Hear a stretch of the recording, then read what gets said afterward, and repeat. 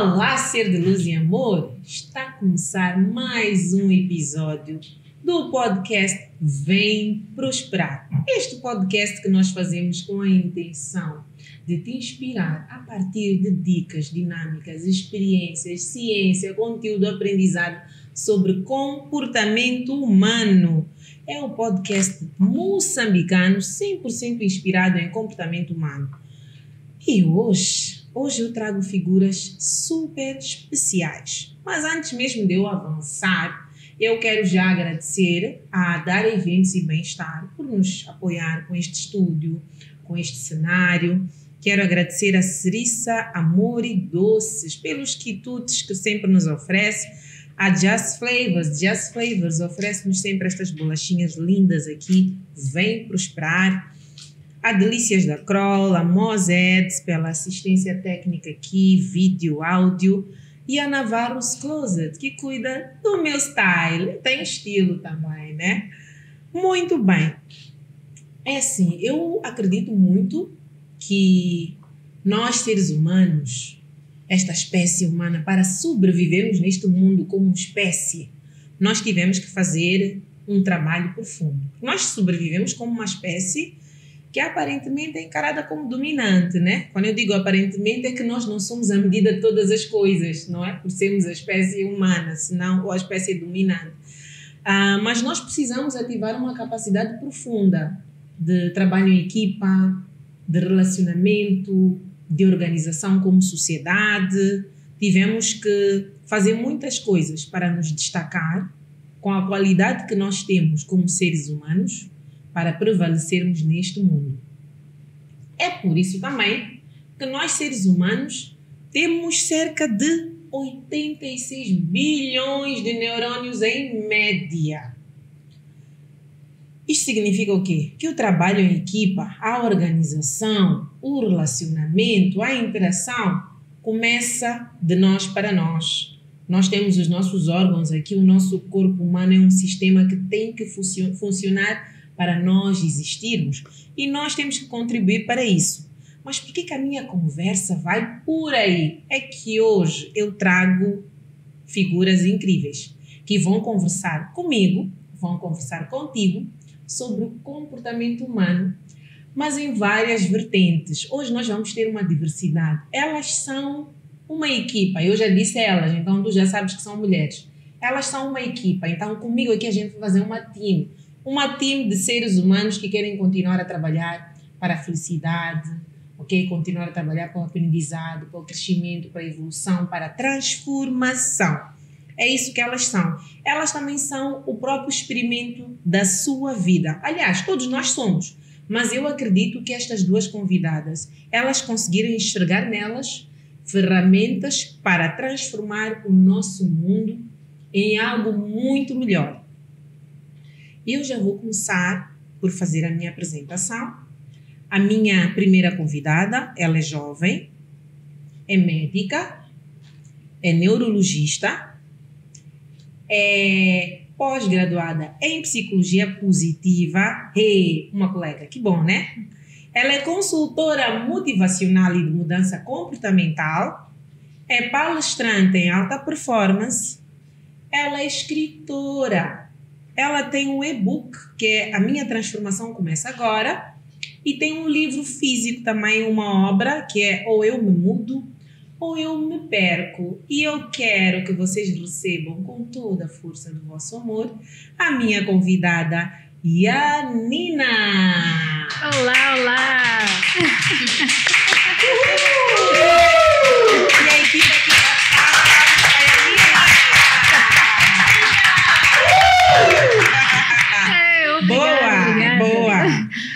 Ai, que bom, Yanina. Gratidão profunda por cá estares. É um prazer muito grande te conhecer e ter a oportunidade de trazer o teu conteúdo aqui para o Vem Prosperar.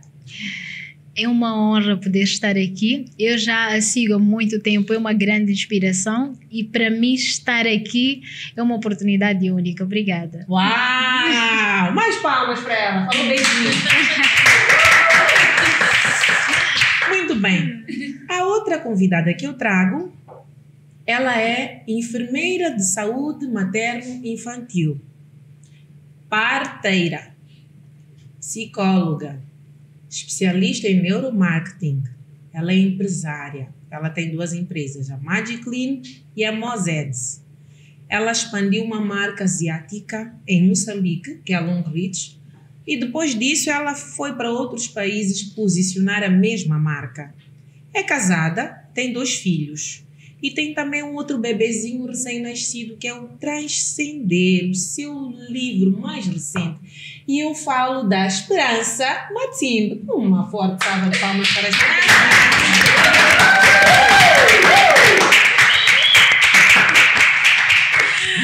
Uau, muito bem. Ai, que bom. Esperança, gratidão profunda por cá estás. É um prazer muito grande te ter aqui.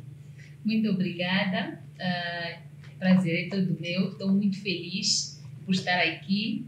E vamos nisso, vamos para cima. Vamos prosperar! vamos prosperar. Vamos prosperar, uau!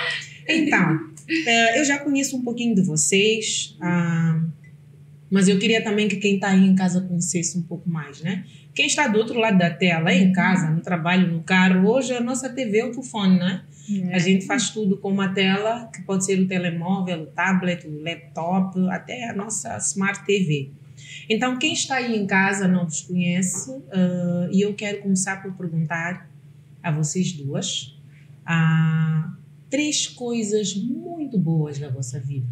Não, a vossa vida deve, deve ter algumas décadas, pelo menos. Uh, podem não parecer, mas acho que mais de duas décadas já tem. Uh, então, eu quero saber três coisas muito boas. Okay? A vossa história de vida. Três coisas que marcaram acontecimentos.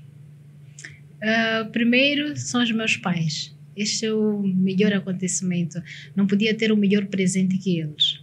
Porque eles me mostraram a vida como é. Hum. A vida como hoje nós lutamos para fazer psicologia, para fazer coaching.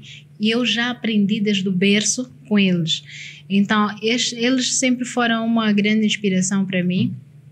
Enquanto uns sentiam-se uh, desmistificados, eles mostravam que a vida é assim, segue em frente. Tu estás a crescer, tu estás a aprender. Eu lembro-me que a primeira vez que eu tive o primeiro namorado deixou-me, por algum problema, já não me lembro qual, o meu pai disse: Olha, tu terás muitos namorados pela frente. Qual é o teu objetivo de vida? Ah, queres atingir isso, né? Deixa, chora, cala-te, agora segue em frente.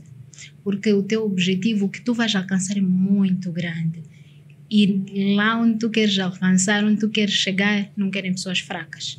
Então, se tu queres chegar mesmo, então, por favor, acabou isso tudo, vamos seguir em frente e agora corre. E assim eu também tive muita inspiração da minha mãe, que eu lembro que quando eu estava na décima classe, a minha mãe tinha o antigo sistema e ela começou a estudar a oitava classe, íamos à escola juntas. Então isso para mim sempre foi uma grande inspiração que nós hoje olhamos como um problema. E eu olho ela como uma grande inspiração. Não existe momento certo uhum. ou não existe idade para a gente correr para poder fazer o que nós gostamos. Então, os dois são uma grande inspiração na minha vida. A segunda, a segunda grande inspiração uh, foi ter feito um curso que eu não queria, eu comecei a amar. Olha, que ninguém sabe.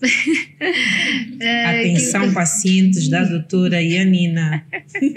Corta. Olha, eu, eu sempre fui a melhor aluna física e a matemática. Tirava melhores notas, eh, participava em Olimpíadas, tirava sempre as melhores notas. Entretanto, o meu pai disse: Olha, tu vais ser médica. E eu queria ser astronauta. Disse: Ok como de médica astronauta, eu fiquei meio confusa. Então ele sentou e disse-me, disse, olha, tu não podes olhar para o teu sonho uh, como algo momentâneo, tu tens que olhar para frente.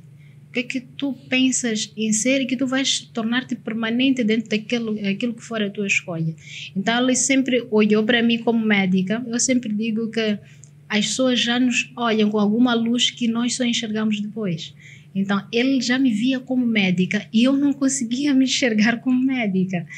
Entretanto, assumi o desafio, que eu sempre digo às pessoas: se nós pegarmos os desafios da nossa vida com duas mãos, tudo vai dar certo. Para quem não queria fazer a, a medicina, eu passei em todas as faculdades, para um M, para Unilúrio, para UP, e eu fiquei confusa, não quero ser médica, porque por mim eu chumbaria todas para ir fazer física, mas passei em todas. E aí fiquei já confusa, onde eu vou? E eu assumi o desafio, disse, olha, já que eu serei médica, eu tenho que aprender e gostar da medicina. E acreditem, quando eu comecei a pegar os doentes, eu tornei-me mais humana, entre aspas, que os meus colegas. Por quê? Porque eu chegava a casa a chorar. Não, é que meu doente. Minha mãe dizia: Olha, se tu carregares sempre estas situações para casa, tu não vais conseguir comer. Não, é que eu não consegui, depois fui buscar sangue. Depois... Minha mãe disse: Olha, veja agora, tu não querias ser médica e hoje tu carregas o sentimento uh, da, da medicina contigo. Então, para mim, a, a medicina não é só um curso por que, que eu fiz psicologia positiva? Foi inspirado nos pacientes. Eu ainda me recordo que foi um paciente meu. Uh, eu sempre na consulta eu tinha este lado de falar um pouco da psicologia e também da parte médica. E ele disse: Olha, doutora, peço por favor, eu tenho idade de ser teu pai, mas ensina as outras pessoas, publica isto que estás a ensinar, porque tu transformaste a minha vida ele chegou com, depressão, a cidade tinha sido roubado um iPhone que ele lutou tanto para poder comprar e ele sempre vinha à consulta. E uh, nas conversas na consulta, era uma consulta de neurologia. Ele saiu dali novo e ele disse: Olha, eu nunca me vou esquecer de ti, eu peço que ajude as outras pessoas. Vê um mecanismo para poderes publicar esta, esta informação, para poder fazer chegar. E eu comecei a levar a sério, eu disse, olha, acho que tenho algum lado de psicologia. Comecei a estudar mais acerca, acerca da psicologia. E nesse exato momento, eu comecei a encarar vários desafios. O primeiro foi falar assim para a câmera. Como é que eu gravo o primeiro vídeo? Eu que não me via fazer isto. Mas assumi o desafio e este foi um dos melhores desafios que eu que eu assumi Uau. na minha vida. Uau, uau. Três momentos marcantes, profundamente. É. Né? A família, a origem, a fonte, é. mãe e pai, a profissão, né? esta reviravolta, não é? E a continuidade da reviravolta, que é já exteriorizar, não é? é. Trazer, comunicar para o outro. Hum, muito bom, gostei muito de ouvir. A, a Janina é de Maputo? Sou de Nampula. É de Nampula, ok, ok, ótimo, perfeito. Muito bom, é muito bom quando nós temos ah, pessoas que acreditam em nós. Não é? É, claro. É a família é muito importante, é o nosso primeiro sistema. É muito importante. É, olha, que eu sempre digo, por exemplo, os meus pacientes de 16 a 19 anos, às vezes zangam-se comigo, mas eu tenho sempre dizer a mesma coisa. Vocês estão a organizar a vossa personalidade. Então, organize, tentem o máximo ter uma referência. Boa referência são os vossos pais. Se vocês perdem, porque o nosso cérebro cria maturidade, uh, maturidade aos 20, 21 anos, mas de personalidade até os 18. Então, se neste período não conseguir organizar a sua maturidade ou melhorar a sua conduta para ter uma determinada personalidade, vão ficar perdidos. Por isso que é extremamente importante este, este envolvimento família e indivíduo. Boa. Porque se nós não tivermos, vamos ter aquelas todas personalidades patológicas. Então nós já vamos lá, vamos lá, doutora. Fato é que acredito que quem está aí a assistir já começou a tirar algumas notas. Só de ouvirmos três coisas boas da vida da nossa Janina aqui, já algum aprendizado retiramos. Agora eu vou para ti, Esperança. Três coisas boas da tua vida. Coisas boas, três coisas boas. Quando a doutora estava a falar, eu estava a pensar três coisas boas, e que são várias coisas boas. Então tem que selecionar as mais boas. então, uh, primeiro, os meus pais pelo ensinamento, uh, eu sempre estive dividida. Dividida por quê? Porque a minha mãe sempre me ensinou sobre venda vender. Filha, você tem que vender, você tem que ir para o mercado comigo, você tem que vender isso, tem que vender aquilo. E o meu pai, essa era sempre escola. Esperança, você tem que ser enfermeira, você tem que ser enfermeira como teu primo Manuel, que é enfermeiro. Ou se calhar, depois casei com o Manuel, meu marido Manuel, está ouvir o Manuel. então, eu fui crescendo nessa divisão. A minha mãe uh, queria algo uh, diferente daquilo que meu pai queria. Porque a minha mãe sempre dizia, ela quando vai para o mercado, ela consegue vender. Ela consegue. A minha mãe primeiro vendeu gelinhos, muitas coisas, mas depois ela firmou-se na avicultura. Então, eu conseguia por dia fechar por aí 50, 100 frangos nas vendas. Então, ela sempre me puxava naquele lado de vendas. E meu pai sempre me puxava do lado da escola. Mas eles nunca, nunca perguntaram a mim qual é seu sonho. Esperança, qual é seu sonho? Eu, eu digo, na infância, meu maior sonho era ser ministra das Finanças porque eu olhava para a doutora Lisa Diogo, eu me inspirava muito nela. Mas, em contrapartida, eu tinha uma madrinha de infância que eu sempre contava a ela: eu quero ser como Luísa Diogo. Mas a minha mãe quer por vender, o meu pai quer por ser enfermeiro. Então, eles não olhavam para esse lado do sonho. E fui crescendo assim, fui crescendo assim. E a segunda coisa, doutora, que eu uh, sempre digo, foi um ensinamento para mim, foi quando fiquei grávida da minha filha quando fiquei grávida da minha filha, eu já tinha terminado o décimo segundo, eu tinha que escolher, vou para a faculdade ou faço um curso técnico? Foi quando meu pai e meu irmão disseram, faz enfermagem, é mais rápido. Daqui a dois, três anos já terminaste. Eu disse, meu Deus, é aquele curso, é aquele meu sonho de ser eh, ministra das finanças, de fazer, não sei, esse curso.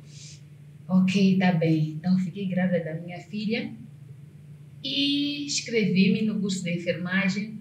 Foi muito marcante para mim porque eu tinha que entrar em algo que eu não queria, né? E aprender a gostar da coisa. E naquele tempo, eu recordo-me que cheguei naquela turma de 30 meninas, eu era a única com barriga grande. Yeah, e, os, e, e o curso nós fazíamos das 14 às 20. Então, eu quando entrasse naquela turma, naquela sala, todo mundo olhava para mim, uma grávida a vir fazer curso, a entrar essa hora, até 2010, naquele tempo, geralmente uma menina grávida não podia entrar curso diurno, tinha esse curso noturno, mas como era um curso técnico, eu tinha que entrar mesmo de dia com as meninas que não estavam grávidas. Então, para mim foi, foi algo muito marcante, porque uh, a turma não me olhou mal. A turma me apoiou. Tive o apoio de 30 meninas. Recordo-me que as contrações do parto começaram na sala de aulas. Então a professora, naquele momento, teve que mandar todos saírem da sala. As colegas pediram ficar. Eu quase que dava parto mesmo na, na, na sala. Então a professora, as colegas me acompanharam até a maternidade. Tive parto cesariano. E a minha filha, quando nasceu, minhas colegas chamavam ela passa curso. Bebê do curso. Nós vamos controlar a idade dela para ver até eh, se ela completar dois, três anos, já terminamos o curso. Então ela era passa curso da turma. Então eu tinha que fazer o curso, eu tinha que amamentar bebê, tinha que sair a correr. E olha, eu tive parto cesariana, três dias depois, a minha diretora de turma ligou se você faltar sete dias, você chumbou, terminou o curso de enfermagem. Eu tinha que pensar: ou faço o curso de enfermagem ou a minha vida para aqui? Porque eu precisava fazer o curso que é para poder sustentar a menina. Aí, com cinco dias, eu fui para a escola com ferida fresca antes de tirar os pontos e estávamos a estudar no segundo andar. Eu, quando cheguei no, no portão da escola, as minhas colegas vieram ali, levaram a minha pasta e elas me abraçaram. Aquele, aquele todo carinho, eu, eu, alguns trabalhos eu não conseguia fazer porque eu sentia muita dor. As minhas colegas ajudaram. Então, esse foi um momento muito marcante. Uau, uau. o terceiro momento do casamento dos sonhos. Meu casamento foi dos sonhos, do jeito que eu sonhei, do jeito que eu desenhei, o marido que eu escolhi, yeah, os convidados, a festa, os tantos vestidos. Yeah. Foram esses três momentos marcantes na vida. Uau! É tão bonito ouvir vocês falarem. Ah, eu espero que a gente já esteja a tirar notas. Ah, é muito bom ouvir A família é de facto o primeiro lugar onde nós recebemos a sugestão do que, que nós queremos, o que é bom, o que, que é um bom caráter, o que, que é construir uma personalidade que vai nos levar para frente, sugestão de profissões, é tudo na família. Muitos de nós, a nossa primeira profissão, a nossa primeira escolha foi influenciada por mãe e pai. Sim. A minha primeira escolha foi medicina. Uau. Eu entrei na faculdade de medicina, influenciada pelo meu pai, que desde pequenininha chamava-me de doutora. Só que para nós, o que é doutora? Quem é doutora? É a médica, não é? Eu lembro-me que durante muito tempo eu dizia, eu vou ser médica. No final das contas, eu compreendo que é bom nós recebermos essas sugestões de ser alguma coisa. Até de sentir que eu estou muito próxima do que eu quero ou não estou tão próxima do, meu, do que eu quero. No meu caso específico, eu tive que interromper a faculdade de medicina porque eu fiquei grávida e não tinha como estudar à noite, não é? E tinha que trabalhar para sustentar a minha família, a nova família que eu estava a criar.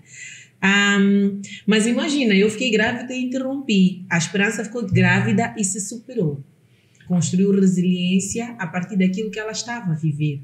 Vejam como situações parecidas elas podem ter caminhos diferentes. E todos os caminhos estão certos.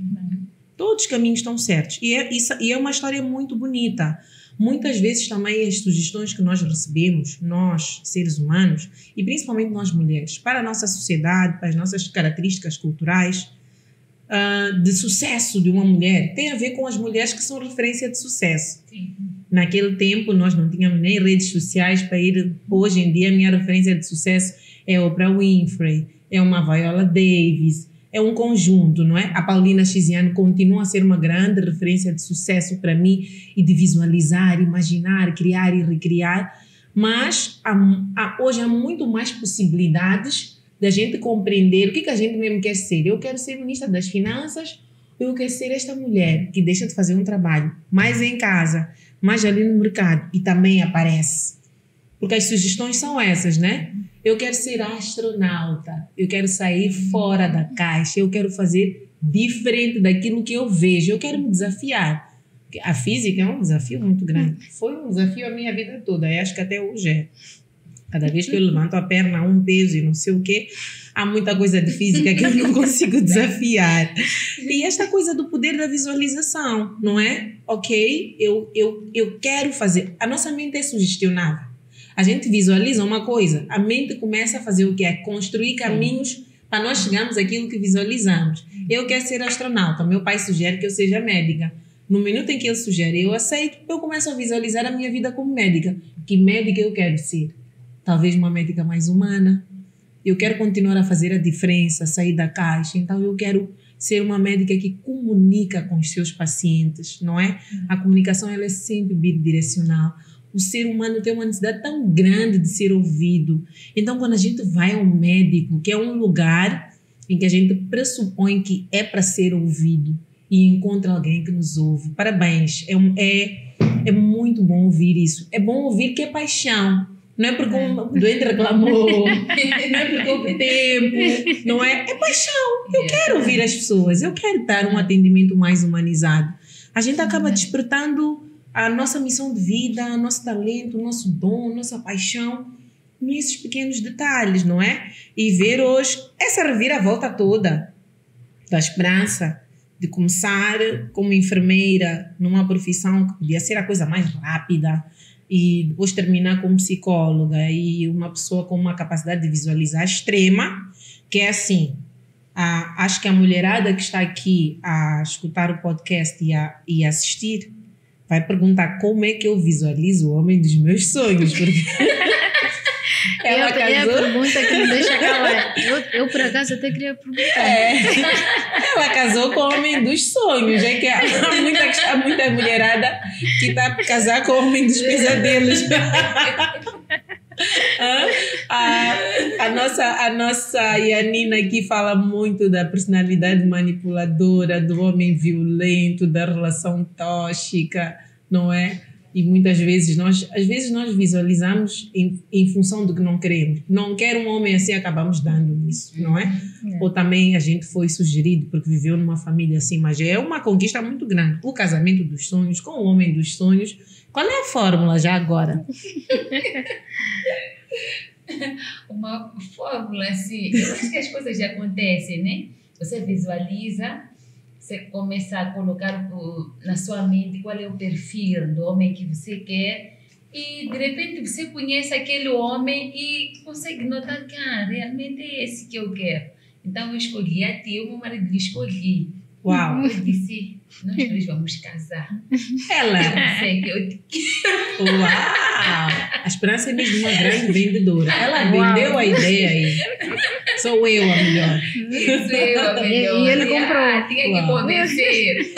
Uau!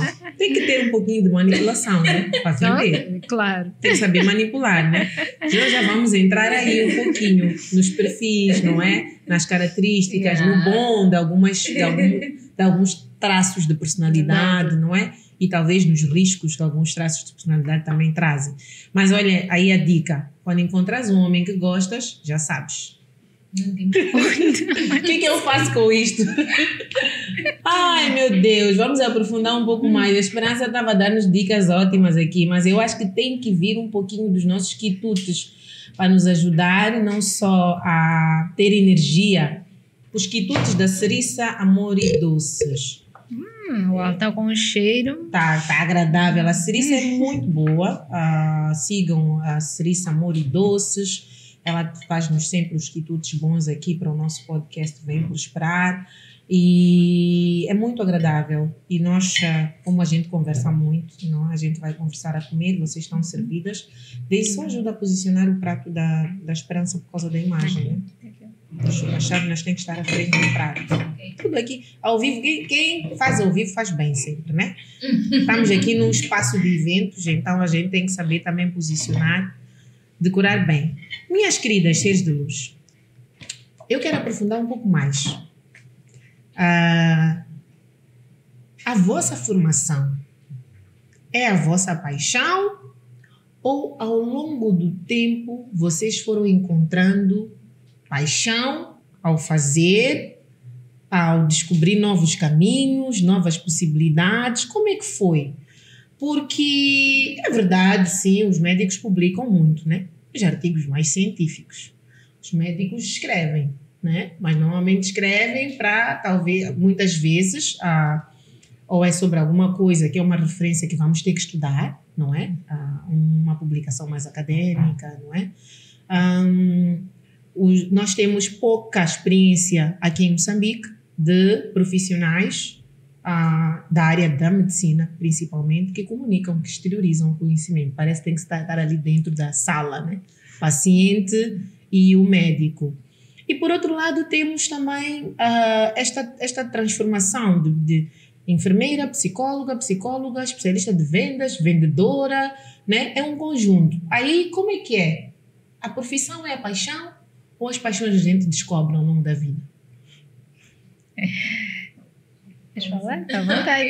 Eu, eu, eu, eu, vi, eu vi ela com vontade de falar. Não? Senti a energia dela aqui. Com vontade.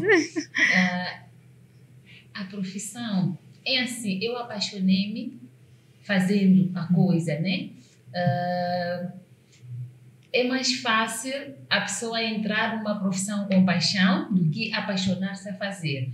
Mas é mais bom também apaixonar-se fazendo a coisa, porque você pode desenvolver mais a sua profissão.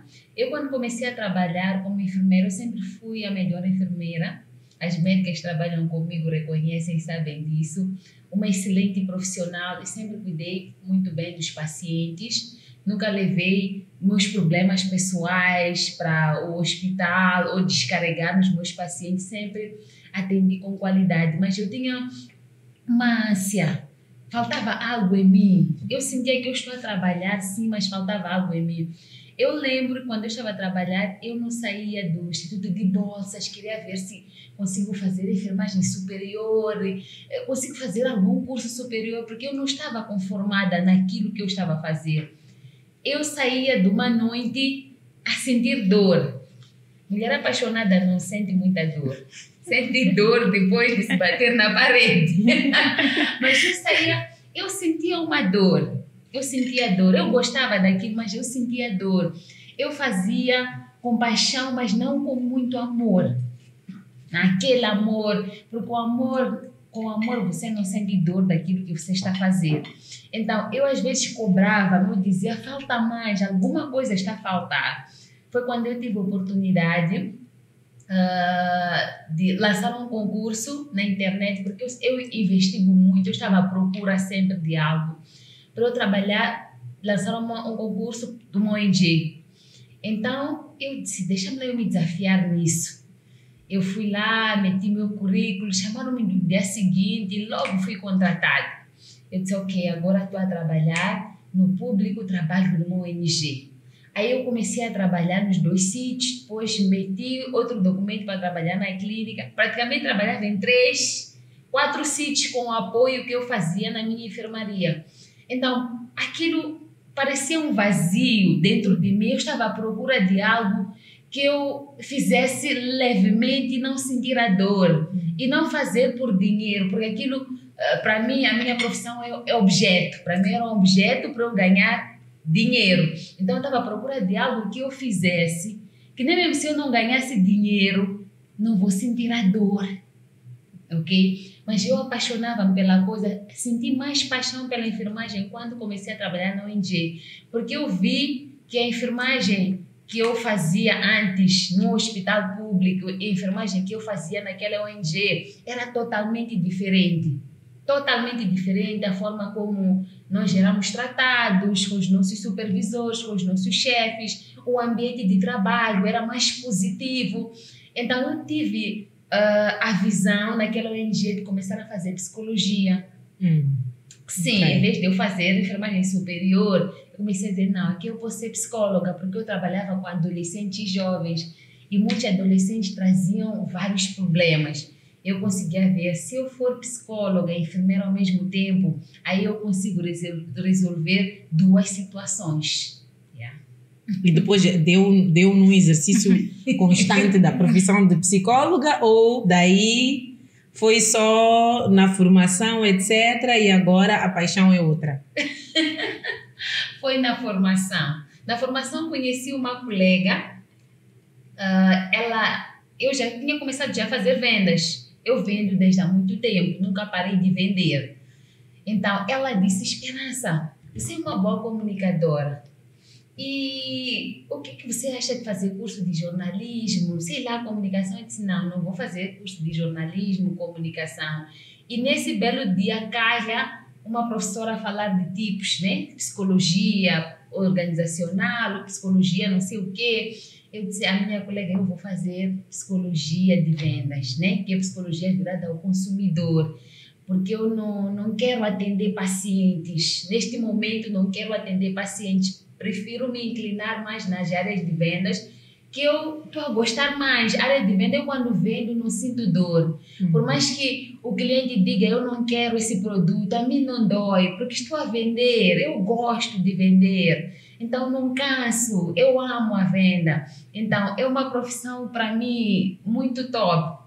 Boa. Então vê só, a gente a gente tem um, um papel importante da dor nas nossas vidas, não é? Uh, começa com a ideia de que eu preciso preciso de uma profissão, porque todos uhum. nós temos que ter uma profissão, não é? Embora esta coisa da, das profissões, agora pensando fora da caixa, já sabemos que é tudo disruptivo, uhum. não é? Há profissões que estão todas no aplicativo, vão deixar de existir. A Sim. inteligência artificial está para nos mostrar isso todos os dias. É. Uh, até algumas consultas de saúde vão para o aplicativo uhum. e tem um pouquinho mais de eficácia do que se é uma consulta humana. Claro que não tem um relacionamento, mas acaba não tendo a tua emoção negativa, a tua ansiedade do dia, os teus problemas. É ali o algoritmo, fez os cálculos, é aquilo, é aquilo. Não sai disso, não é? Não tem aquela coisa do erro humano constante e um conjunto de coisas. Então, hoje a gente percebe que há um conceito de profissão que está a ser cada vez mais disruptivo. Quando eu escolhi a minha profissão, eu não sabia que eu ia ser coach, por exemplo. Nem se falava do coaching na altura. Eu lembro do meu primeiro contato com o coaching foi em 2012. Okay? Comecei a gostar porque eu tive uma coach. Eu tive alguém a fazer um trabalho comigo, com a equipa, que foi ótimo. Aí a, a gente volta para esta questão do papel da dor. Então a gente aprende muito na dor, não é? Esta coisa de ir para a enfermagem, depois dizer, não, vou fazer mais coisas, vou preencher um vazio que não era preenchido, mesmo fazendo mais coisas, até encontrar a psicologia, vou fazer a psicologia de vendas para preencher um vazio, etc. Aliás, primeiro era a psicologia clínica, era para o atendimento, depois não, acho que é de vendas. Porque na dor a gente descobre o nosso talento também, não é? Então eu acredito que foi esta coisa da descoberta de eu quero comunicar alguma coisa. Sim eu quero comunicar alguma coisa. Vender no atendimento é bom, é ótimo, não é? Hum. Ah, mas os produtos são diferentes. Hum. Cada paciente é um paciente. Vender alguma, algum produto que tu sabes que ele não vai mudar. A gente só vai acomodar as necessidades de cada uma das pessoas. Aí talvez está a diferença. Foi isso que te fez uh, decididamente começar a trabalhar vendas até nós temos que resgatar na tua bio esta esta tua identidade, estas tuas, esta tua história de ser enfermeira, parteira, psicóloga, porque muita gente não sabe de onde é que tu vens, não é? Porque de repente te posicionaste como especialista de vendas, ponto. Ninguém sabe das outras coisas e como é que isso chegou. Achas que faz sentido para ti que a dor tornou-te o que tu és hoje e te fez sair e dizer vou desapegar da história da profissão? Sim, porque para mim faz, para mim é, eu acho que trabalhar, principalmente na área de saúde, é uma área muito sensível. Se você trabalha na área de saúde, sai de um turno ou faz um atendimento ao paciente e você sente um desconforto ou você sente algo em falta dentro de ti, né? não te torna aquele profissional que você quer tanto se tornar. Uhum. Eu sempre, eu sou uma pessoa muito exigente, eu tenho que fazer meu trabalho excelente. Então, se eu faço meu trabalho excelente, eu tenho que gostar, eu tenho que amar daquilo, amar aquilo que eu estou a fazer, eu tenho que sentir prazer é, é, é, atender aquele, aquele cliente, atender aquele paciente, eu tenho que sentir prazer, isso tem que me fazer bem. Então, se a coisa não me faz bem, para mim não é coisa certa. Então, nessa toda onda de passar da psicologia, a psicologia me ajudou muito, muito mesmo a, a, a me entender melhor e a me estruturar. E encontrei as vendas eu já vinha fazendo, né? Mas não como profissional, mas tornei profissional porque tive que reestruturar a coisa. Então, aquela esperança que dizia eu quero sair do mercado, eu quero ser como aquela, etc. Na verdade, sempre quis ser aquela esperança das vendas, né? Yeah. O que a mamãe disse era verdade. Era verdade. Não é? Mas é instinto. É. Yeah. Uau, muito interessante, muito interessante. E com a Yanina, como é que foi esta coisa de sair de médica neurologista, de repente comunicação, escritora, intervenção mais social, não é? Mais de visibilizar em redes, em canais, outros que não aquele talvez convencional, quando a gente fala de médico, não é? Como é que foi? Uh, eu sempre fui vista como estranha no meio dos médicos, sempre eu pense, uh, sempre pensei fora da caixa. O que considerava um padrão, eu aquele mundo não era meu eu sempre tinha sempre a tendência de, por exemplo, olhar para o paciente tem uma determinada doença eu pensar mais à frente, o que é que se pode fazer mais? Qual é o estudo que a gente, que a gente pode proporcionar para quando surgirem novos casos, nós temos abordagem diferente. Então, sempre pensei totalmente diferente. E eu dificilmente me enquadrava dentro do, do mundo médico. Tanto que, uh, quando eu cheguei ao distrito, era muito magra, uh, terminei o curso aos 23 anos e colocam-me na Zambésia não conhecia Zambésia e no distrito de Mucuba. Veja só, chego lá e digo, é a mediquinha. E ficou assim, até o dia que eu, que eu saí de lá, a mediquinha. E as pessoas uh, rotularam como uma médica pequena e que não, não traria mudanças. E veja só que eu comecei a minha psicologia lá. Depois é que eu fiz uma retrospectiva, porque situações em que uh, a resolução do problema era um processo disciplinar eu conversava com a pessoa e mudava o seu comportamento. eh, eu tinha muitos eh, profissionais alcoólatras que vinham, eh, acabavam trabalhando com hábitos alcoólicos e fazendo muita coisa que não é muito boa. Entretanto, diziam, não, já tem dois processos disciplinares, vocês não estão a resolver o problema. Já conversaram com eles. Nós temos psicólogos aqui já levaram eles para perceber, porque aquilo é uma fuga, deve ter algum vazio neles que eles estão a preencher. Então, ao conversar, eu começava a perceber é, mais profundo do problema. E só de conversar, nunca mais consumia o álcool. E muitas vezes uh, eu tinha que fazer mudanças bruscas dentro da, dentro da equipe. E eu passei a usar estratégias que eu depois aprendi em psicologia, que eu já usava. E a principal estratégia não é mudar as pessoas, é fazer as pessoas que eles sigam a tua rotina. Eu dizia, olha, aqui temos que correr para atingir esses objetivos. Quem não consegue correr, tranquilo, vem, diz e nós organizamos um outro local.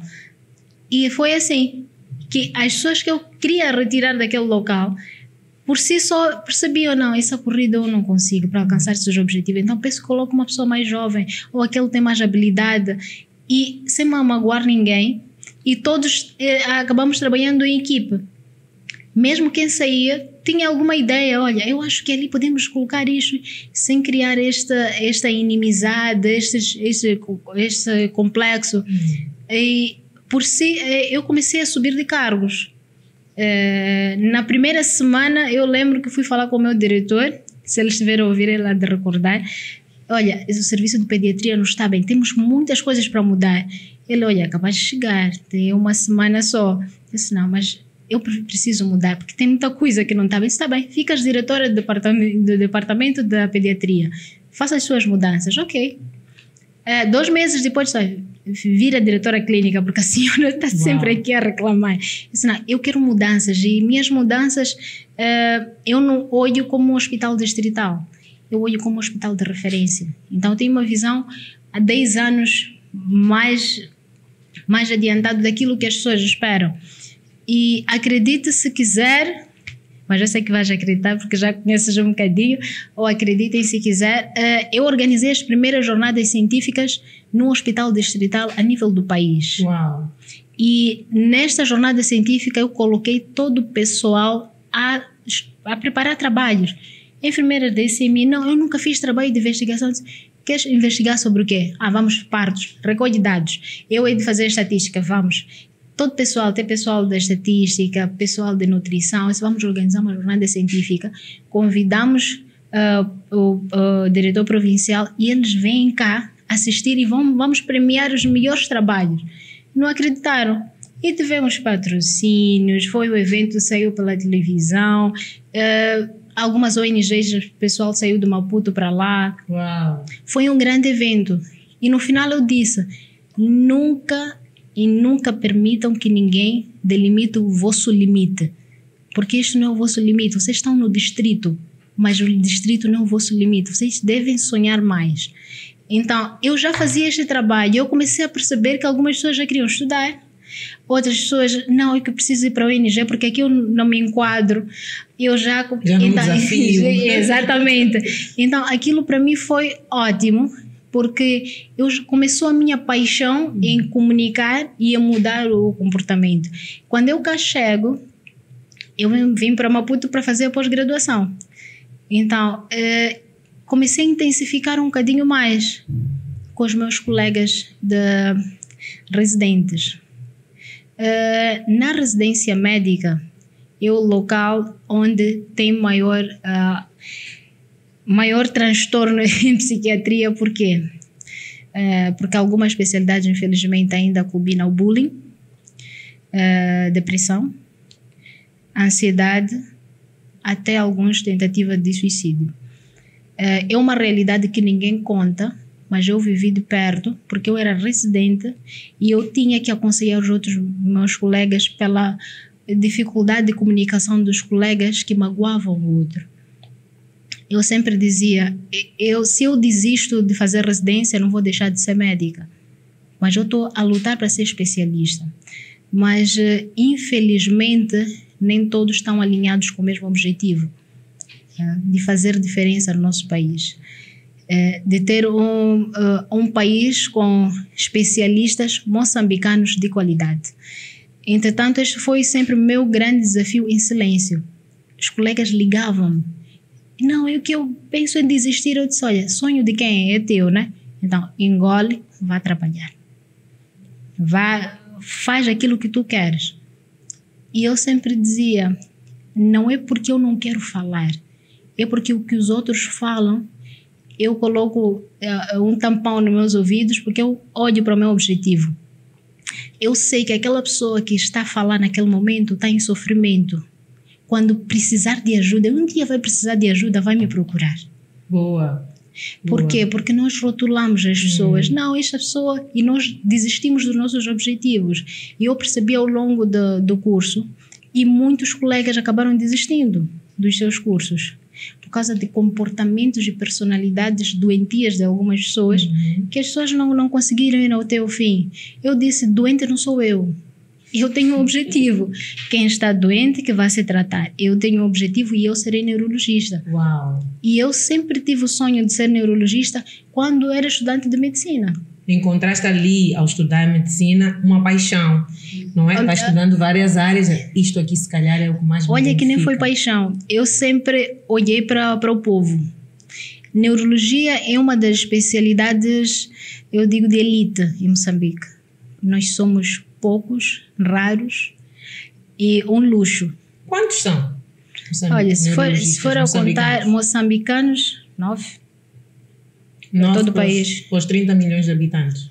São muito poucos. E, por muito tempo Portanto, só, só, era- ia- só eram quatro. Saímos agora, terminamos agora seis. Eu e a Esperança temos um privilégio enorme aqui de estar com uma neurologista. Exatamente. que há pessoas que vão viver a vida toda, isto é importante ressaltar. Há pessoas que vão nascer e morrer sem ter visto um neurologista.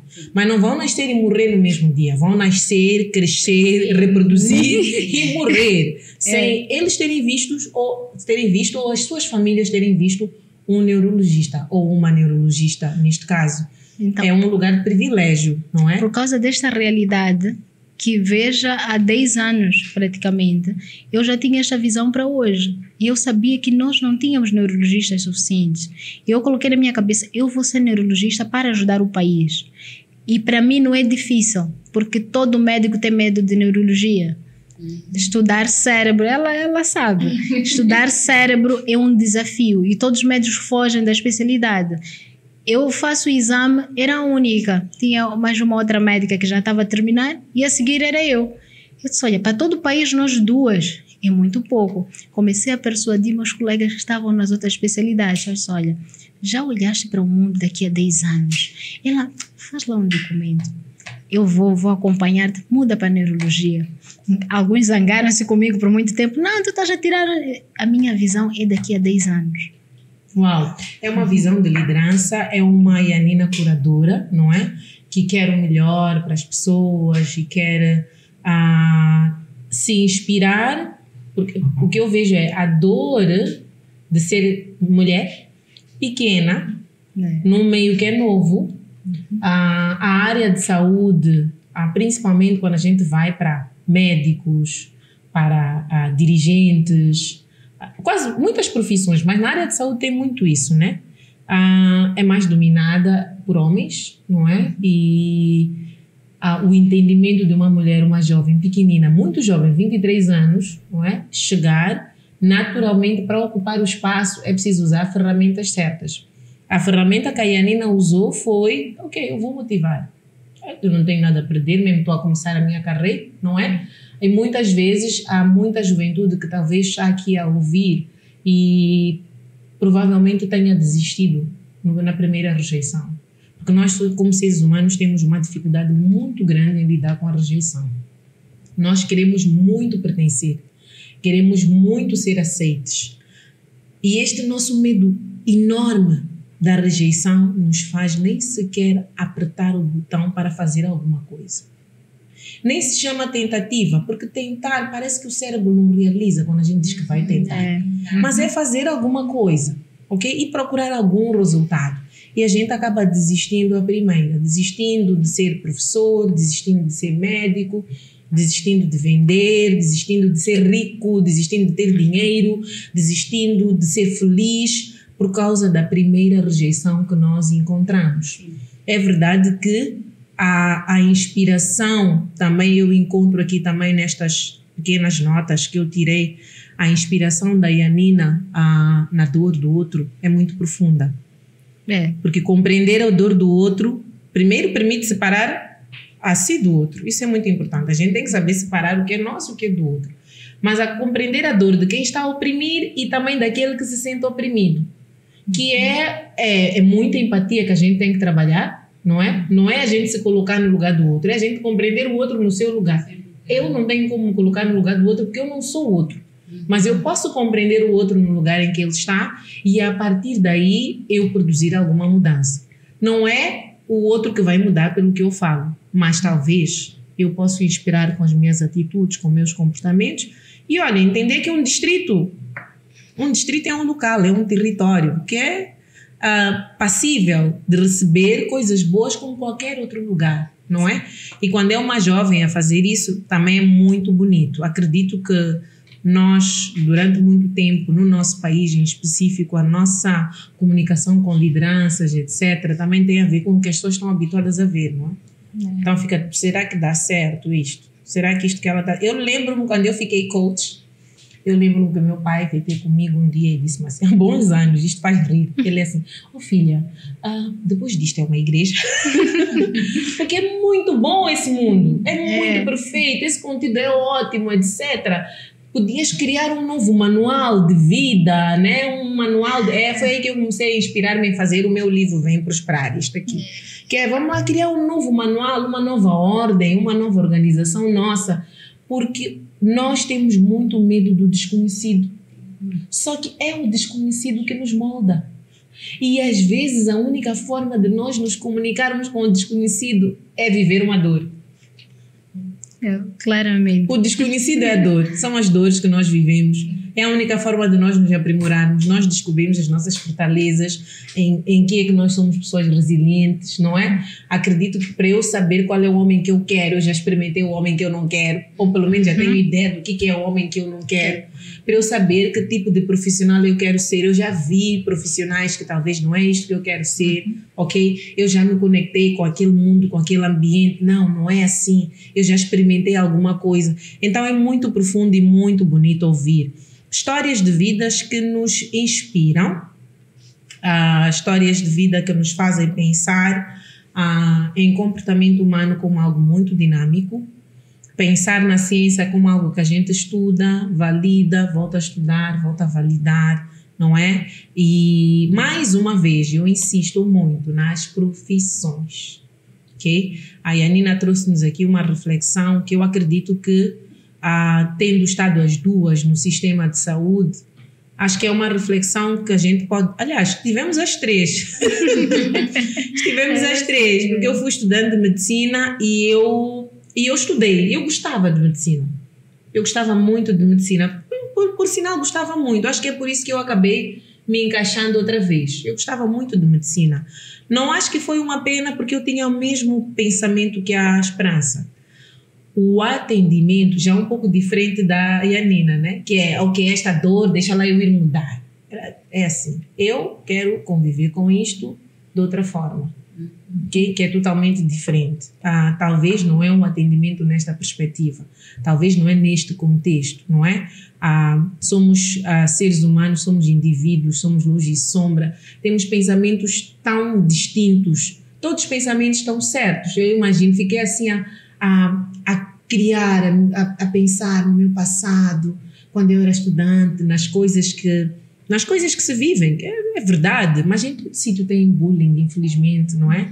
Talvez aqui uma dica para todos os profissionais que ah, as coisas só são boas quando as, as duas pessoas se divertem. Quando um se magoa, se machuca, não é bom. Nem querendo ensinar, nem querendo dar exemplo, não é bom machucar o outro para ser um bom profissional. Não é bom magoar o outro para ser um bom profissional. É, pelo contrário, afasta, não é? Se calhar, pessoas de sonhos, mas também de suas vocações. Porque eu acredito que é isso, é preciso ter vocação. A Yanina tem uma vocação. mas ela podia ser abafada. Ela podia ser totalmente absorvida. Há muitos que decidem que vão dar aulas, ponto, não vou fazer mais nada, vou dar aulas. Outros decidem que vão continuar a estudar, ok? Vou estudar para ir saindo, ir fugindo dessa realidade.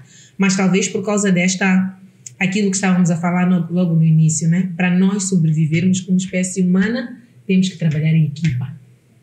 Claramente. Para nós conseguirmos ser uma espécie dominante, se calhar seriam os leões a dominar aqui. Uhum. Se calhar seriam os elefantes, nós não sabemos.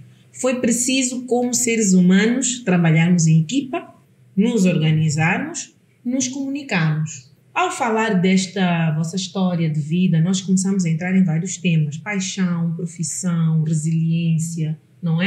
E um tema que é muito importante para todo profissional, para quem nos está a ver, que é performance. Todos nós queremos ter bons resultados, queremos performar, queremos apresentar coisas boas, queremos realizar os nossos sonhos. E vocês duas trabalham performance. Aí a minha pergunta é: que estratégias muito simples, ah, talvez não tão técnicas, mas muito simples e práticas, terra a terra, que a gente pode adotar para ter uma boa performance como pessoas, para chegar aos resultados que nós queremos. Estratégias que vêm da experiência que vocês têm, de história de vida, do exercício da vossa profissão, da vossa vocação, do vosso sonho, da vossa missão de vida e também do aprendizado, né? Que também o aprendizado traz-nos estratégias terra a terra. O que é que vocês diriam para quem quer ter alta performance? Alta performance, boa performance, porque o alta já parece uma exigência, né? Alta performance, ih, a pessoa já se vê, parece estar distante, né? Então vamos desmistificar também esta coisa da alta performance. O que é? Uh, normalmente, a minha preocupação primeiro, antes de pensarmos numa alta performance, é saber o que a pessoa quer. A maior parte das pessoas que procuram pela consultoria, eu só começo pelo que quer, por um propósito. Paramos aí, duas horas. Porque a maior parte das pessoas não sabem o que querem. E se tu não sabes, tu não tens onde alcançar. Então, a maior parte das pessoas, primeiro, nós devemos experimentar como, como ela fez, como eu fiz, como fizeste. Ok, e se não der certo? Não existe não dar certo, porque nós já vamos com, com este plano B.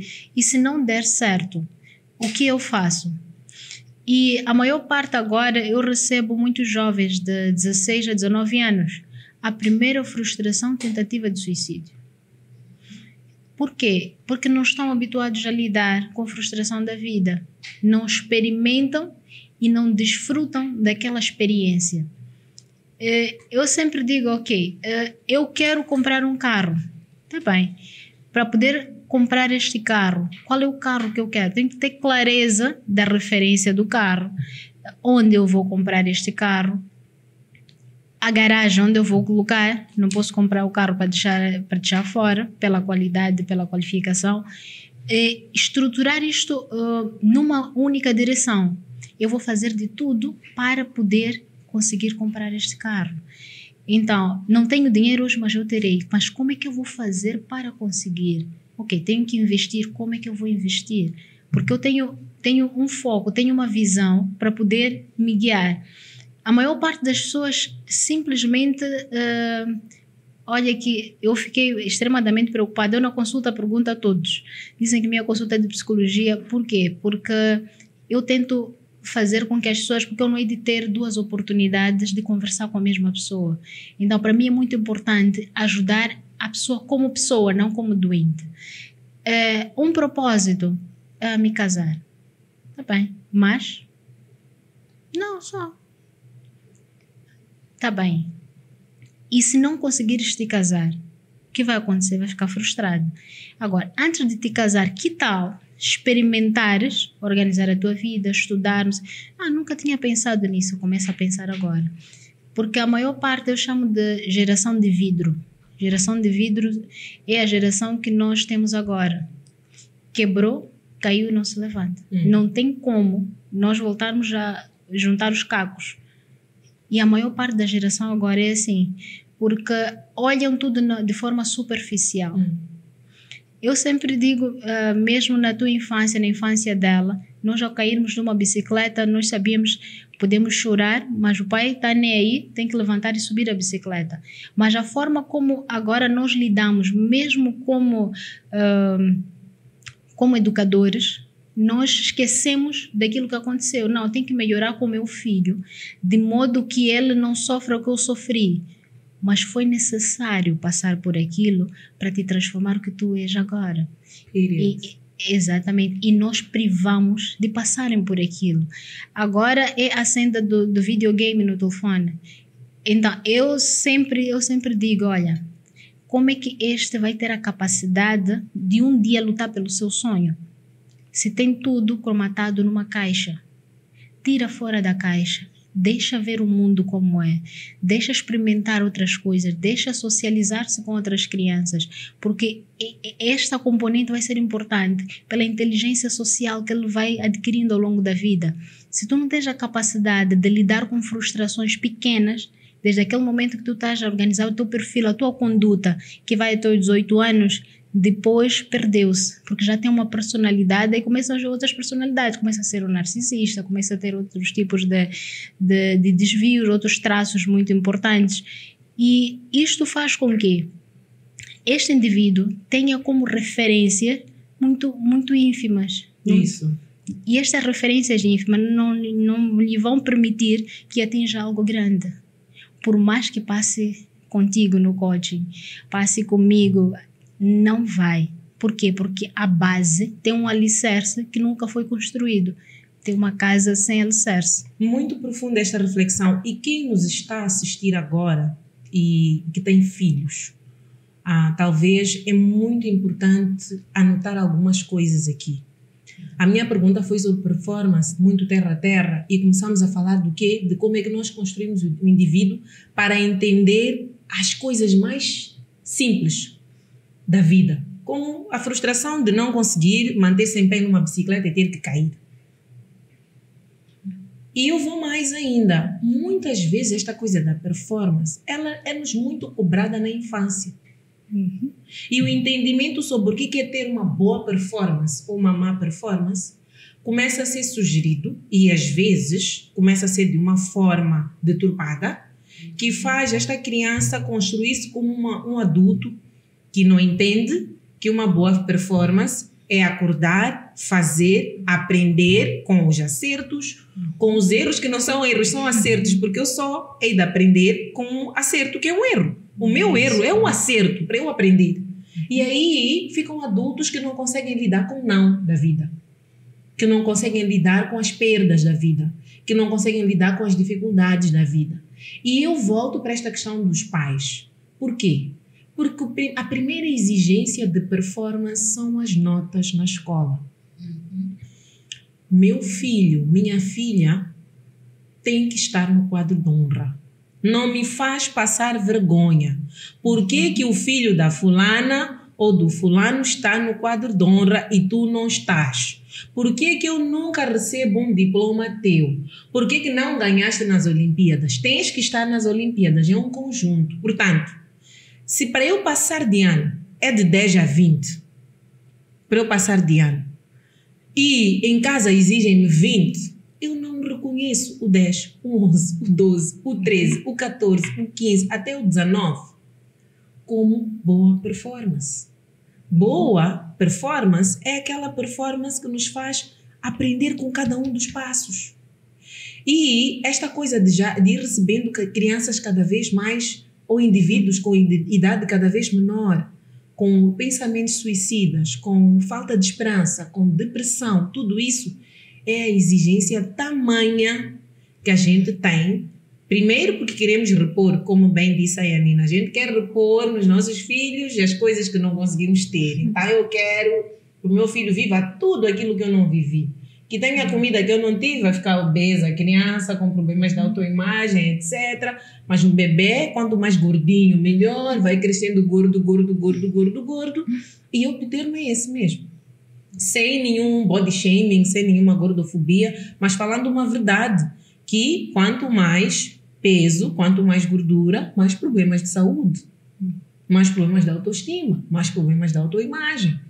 E a gente tem que encarar isto como algo profundo. A performance que a gente exige às crianças influencia no adulto que vai ser. E claro, faz muito sentido e eu estou muito feliz e muito grata, Yanina, por tu, ah, não só para nós aqui, mas para quem nos está a ouvir, principalmente colegas que trabalham com saúde, com saúde ocupacional, com saúde mental, com seja o que for, saber que a primeira ferramenta é ouvir. Porque ao ouvir a gente vai à história de vida. E a gente vai descobrindo estas coisinhas básicas, não é? Estas coisas mais. As crianças elas são muito boas em tecnologia. Um ano já está ali a pôr o boneco que gosta, não é? Então nós pais temos a responsabilidade de regular. A gente não foge da tecnologia. Não temos como fugir. É, mas regular é a, a nossa responsabilidade. A gente tem que regular, Sim. ok? A gente não foge das perdas, das dores. Não é possível. Teu filho, tua filha vai cair, vai levar uma chapada na escola. Há de acontecer.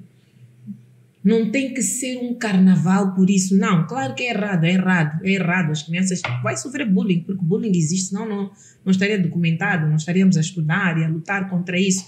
Mas a gente tem que saber dar as ferramentas certas para sair do vitimismo, do coitadismo e desta exigência por performance, não é? Que é uma coisa muito profunda. Eu quis uh, comentar este tema agora. Posso partilhar é... do, do, dois aspectos Boa. antes de chegar à tua parte? Boa. É que à medida que ela foi falando, recordei-me de, de, de, dois aspectos. Um é que uh, normalmente os pais narcisistas, eles exigem muito dos filhos, que eles atinjam sempre alta performance. Isso faz com que uh, o seu filho comece a organizar a sua conduta e a sua personalidade desde pequeno. É aquele que depois de casar tem uma frieza afetiva, aquela pessoa que olha para os outros como inferiores a ele. Então, nós é que moldamos. Isso. O mesmo que os filhos, agora que estamos aqui a falar. Uh, porque bateu um amigo, porque provocou-lhe. Aí ah, assim mesmo, tu mostras força. É um bullying, é um narcisista que estamos a criar desde criança.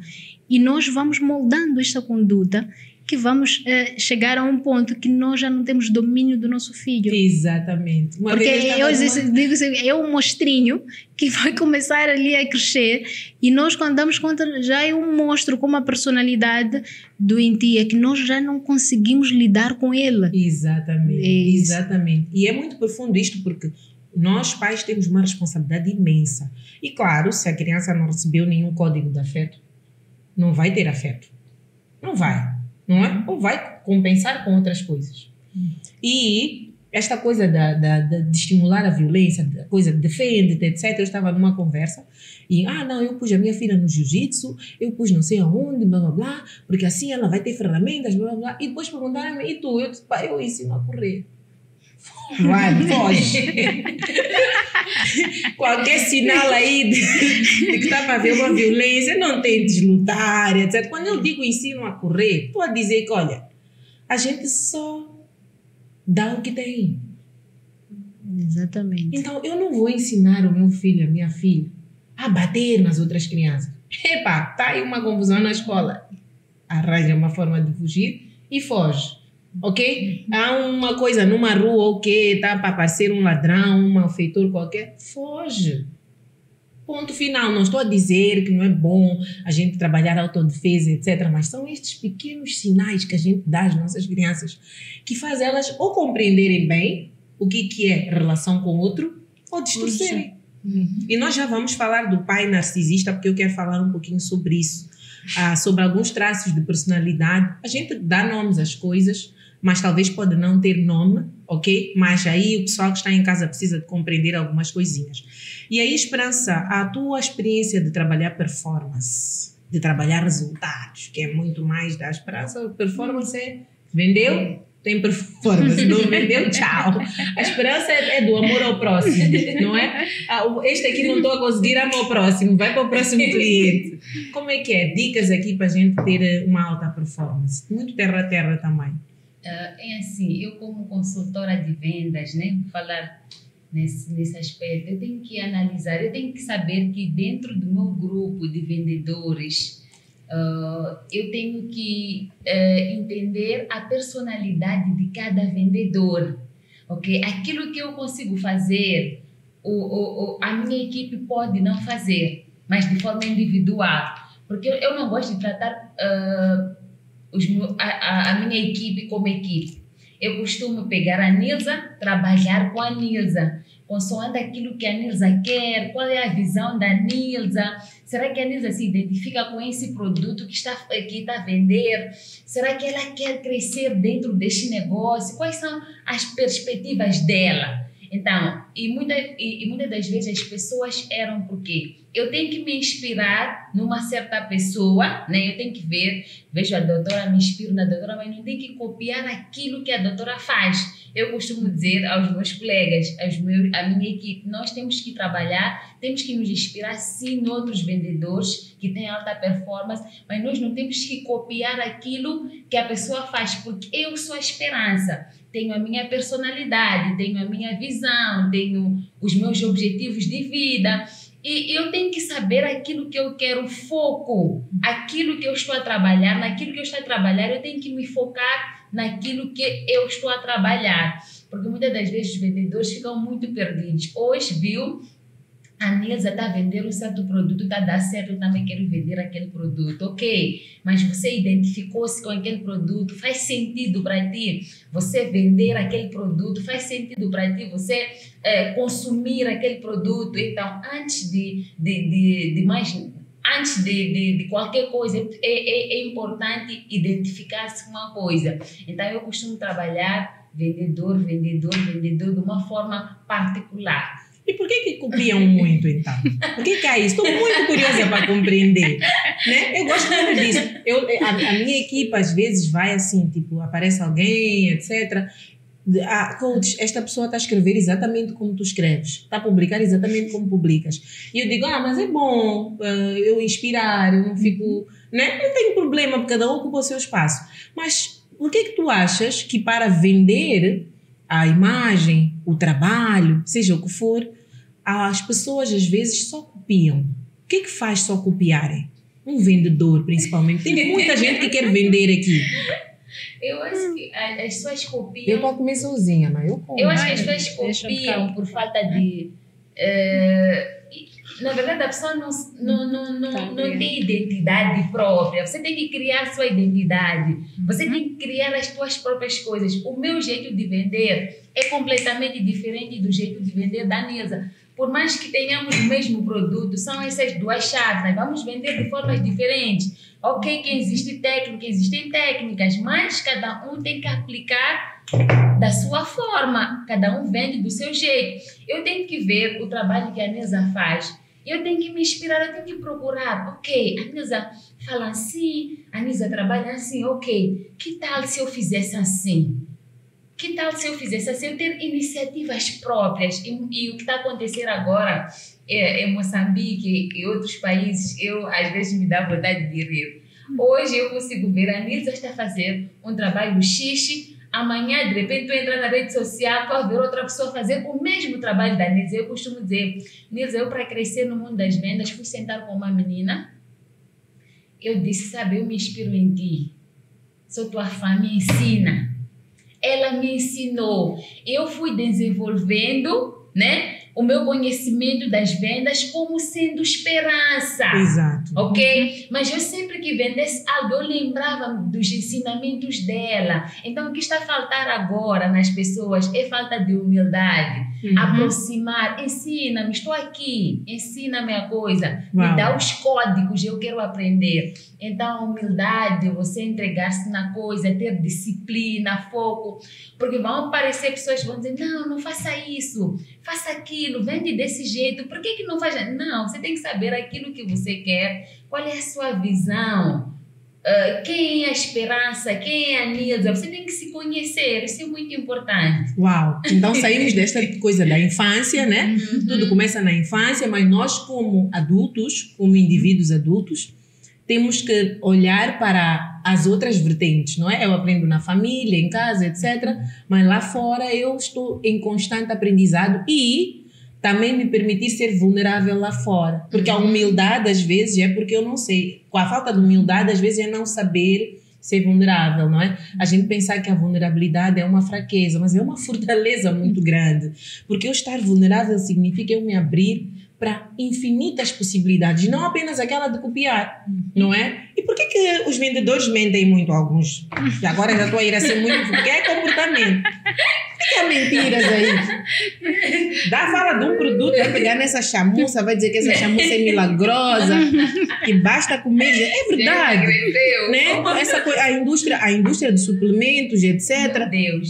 Ah, imagino, Yanina, yeah. tantos pacientes que o seu estado de saúde uh, deteriora porque começam a ir buscar. Existem terapias Sim. complementares, uhum. comprovadas, mas são complementares.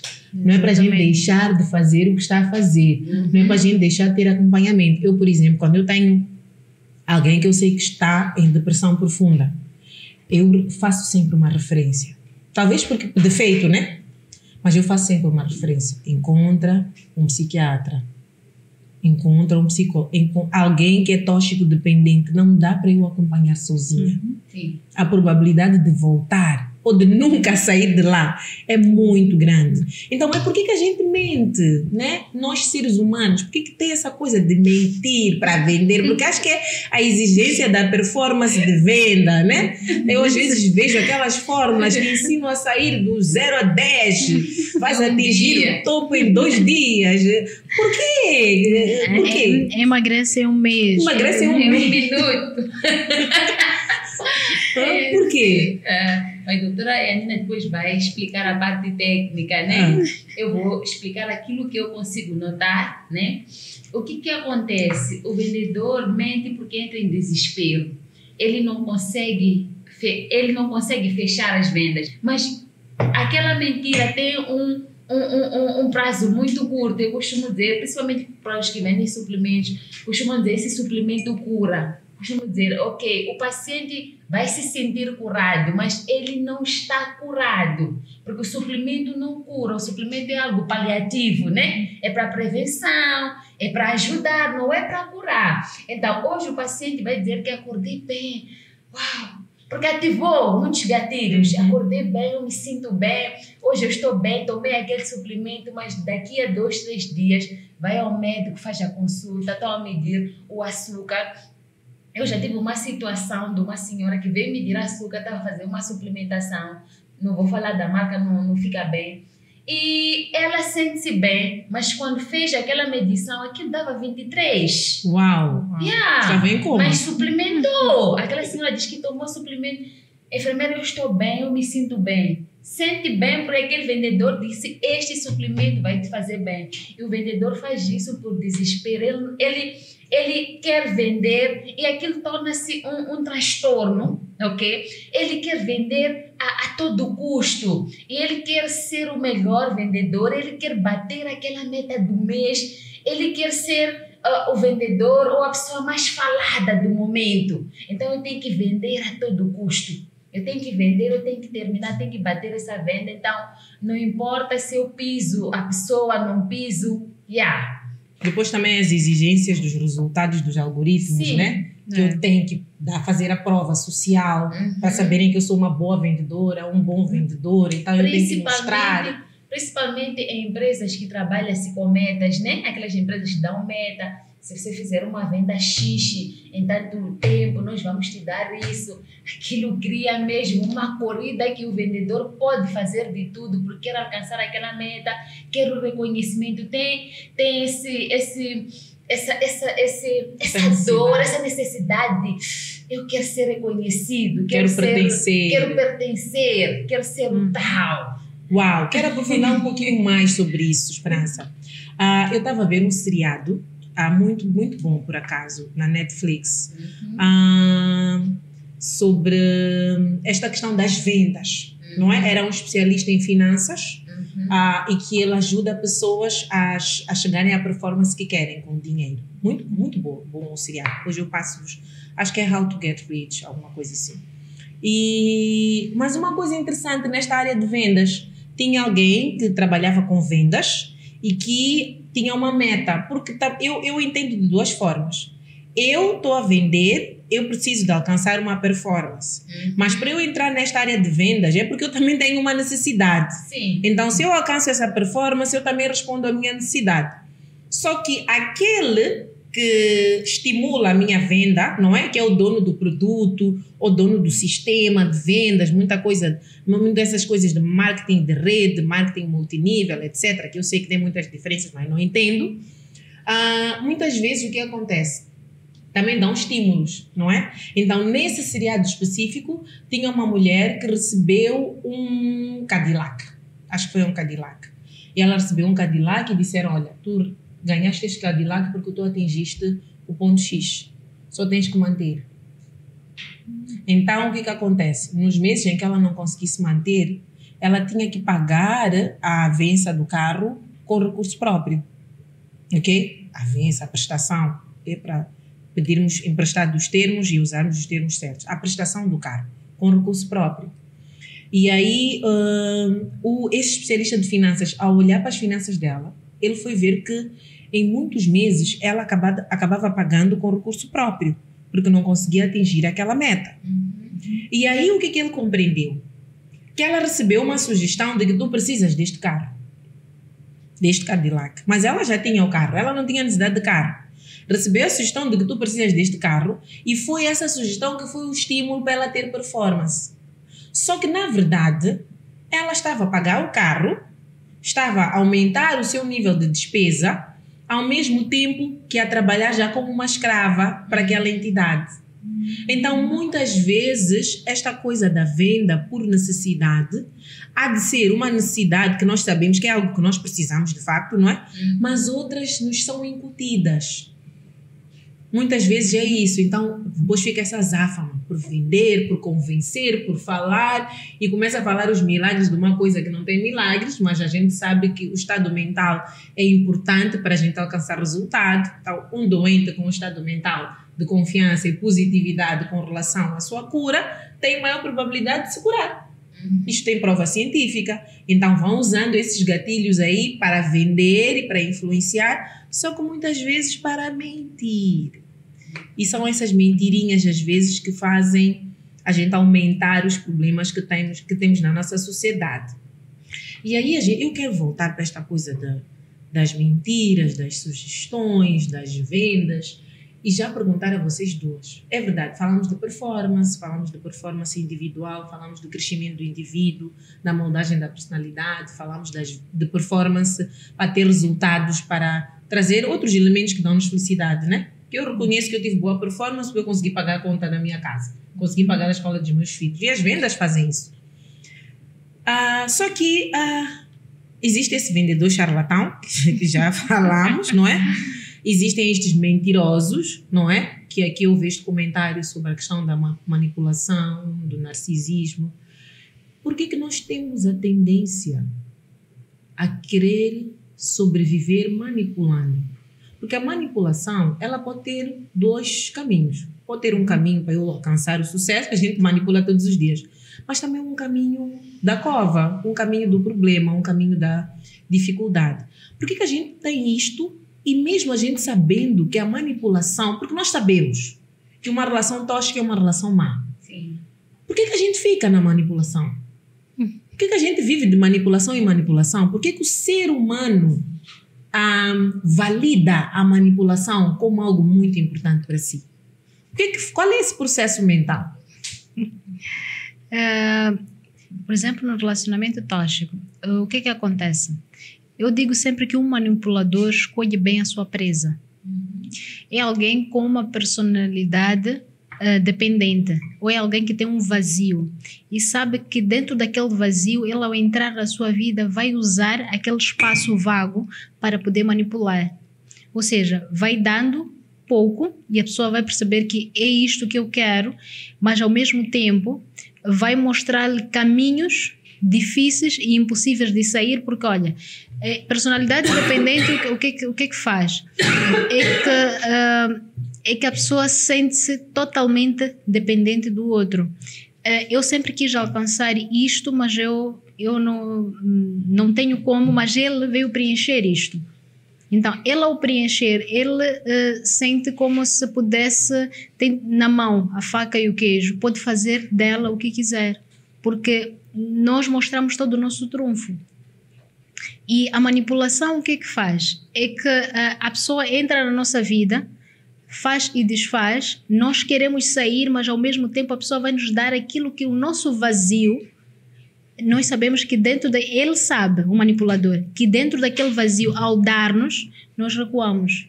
Porque lá fora, consequente, eh, com certeza eu não terei o que ele, ele me dá.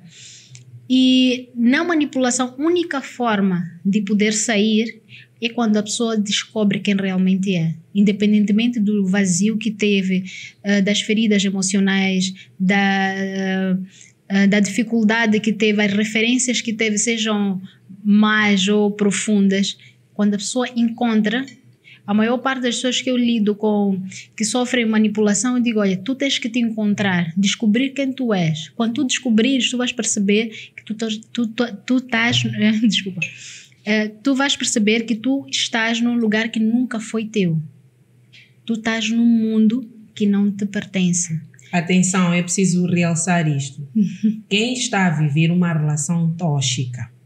Uma relação tóxica é uma relação em que tu tens um sugador energético permanente. Uhum. Alguém que te manipula, uma mulher ou um homem, um marido, uma esposa, um namorado, um patrão, um colega, as relações tóxicas são várias. Uhum. Ah, como nós somos mulheres aqui, podemos dar o exemplo de uma relação de mulher e homem, não é? E uma mulher que está vivendo uma relação tóxica, lembra-te, como disse bem a Yanina, que não é, esse não é o teu lugar. Uhum. É isso. Esse não é o teu lugar. Vamos reforçar isso. Esse não é o teu lugar. Tu pensas que é o teu lugar, mas não é. E a única forma de saber se é ou não é tu te conheceres, tu te descobrires, certo? Uhum. Podemos continuar. É muito importante realçar isto. É uma oportunidade única para muitas mulheres. Claramente. Se, se nós estamos num lugar onde nós precisamos de esforço para poder sorrir, não é o nosso lugar. Uhum. Estamos num lugar onde nós não conseguimos colocar a nossa cabeça no travesseiro e ter um sono tranquilo, não é o nosso lugar. Se nós estamos num lugar onde frequentemente nós estamos tristes e nos perguntamos por que, que eu estou aqui, eu não mereço esta vida, o que eu faço se uh, o que eu faria se eu estivesse num outro lugar não é o teu lugar. Atenção, mulherada. Fala uh, uh, a doutora Yanina, médica neurologista. Não sou eu que vos estou a ditar, não é? É a doutora Yanina que está a dizer. Isto é ciência comprovada. Continue, doutora. É muito importante isto, porque há, há muito estado de sofrimento constante e permanente. Uhum. Ah, e é preciso a gente falar a verdade. Claramente. E a questão de estar num relacionamento tóxico, muitas vezes não é só dentro. A pessoa até pode ter coragem de poder enfrentar. O problema que nós sofremos por fora. A questão da, uh, da falta de independência social. Eu digo que se nós, desde, desde muito pequenos, a escola ensinasse o que nós agora aprendemos, tanto ela, psicologia da venda, o que aprendeste, o que eu aprendi, se eu tivesse aprendido mais cedo, eu teria um, um domínio melhor e eu estaria em uma outra performance agora. Por quê? Porque esta componente da inteligência social nos permite perceber onde nós estamos e onde a sociedade está, onde o meu sonho está e onde a interferência do outro está dentro da minha vida, onde a opinião do outro entra e onde eu não permito que entre. Porque se nós não temos a capacidade de discernir isto, nós vamos estar exatamente no lugar onde não nos pertence, sempre. Ponto nessa cena, naquilo que a doutora Helena estava a falar, uh, eu vou uh, conectar com a parte das vendas. Eu já tive uma situação uh, de alguém me vender, na verdade a pessoa me vendeu um sonho, a pessoa manipulou, vendeu-me um sonho. Eu estava tão confiante da coisa que vai dar certo. Entrei dentro daquele processo todo e eu estava a seguir um passo a passo. Para mim, aquilo Yeah, para mim aquilo era do tipo, vou conseguir, é dessa vez vou explodir. E doutora, eu cheguei a desenvolver uma depressão por causa de uma venda manipulada.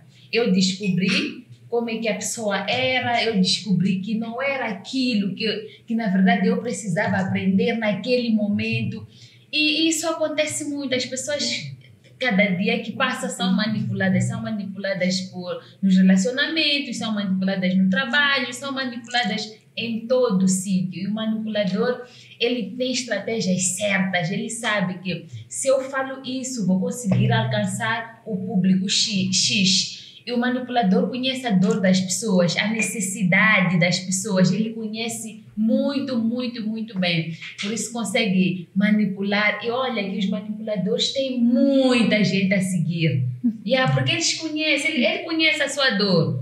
Yeah, conhece as tuas necessidades. Eu já tive numa situação que até desenvolvi depressão por causa disso. Deixa-me partilhar algo aqui, Nilson. Eu acabei recordando. Quando eu comecei a neurologia, eu sofri manipulação. Uh, todos os dias, praticamente, levava-me à sala com, com o diretor e questionava-me: Tu queres fazer neurologia? Não, troca para esta especialidade. Neurologia o que é?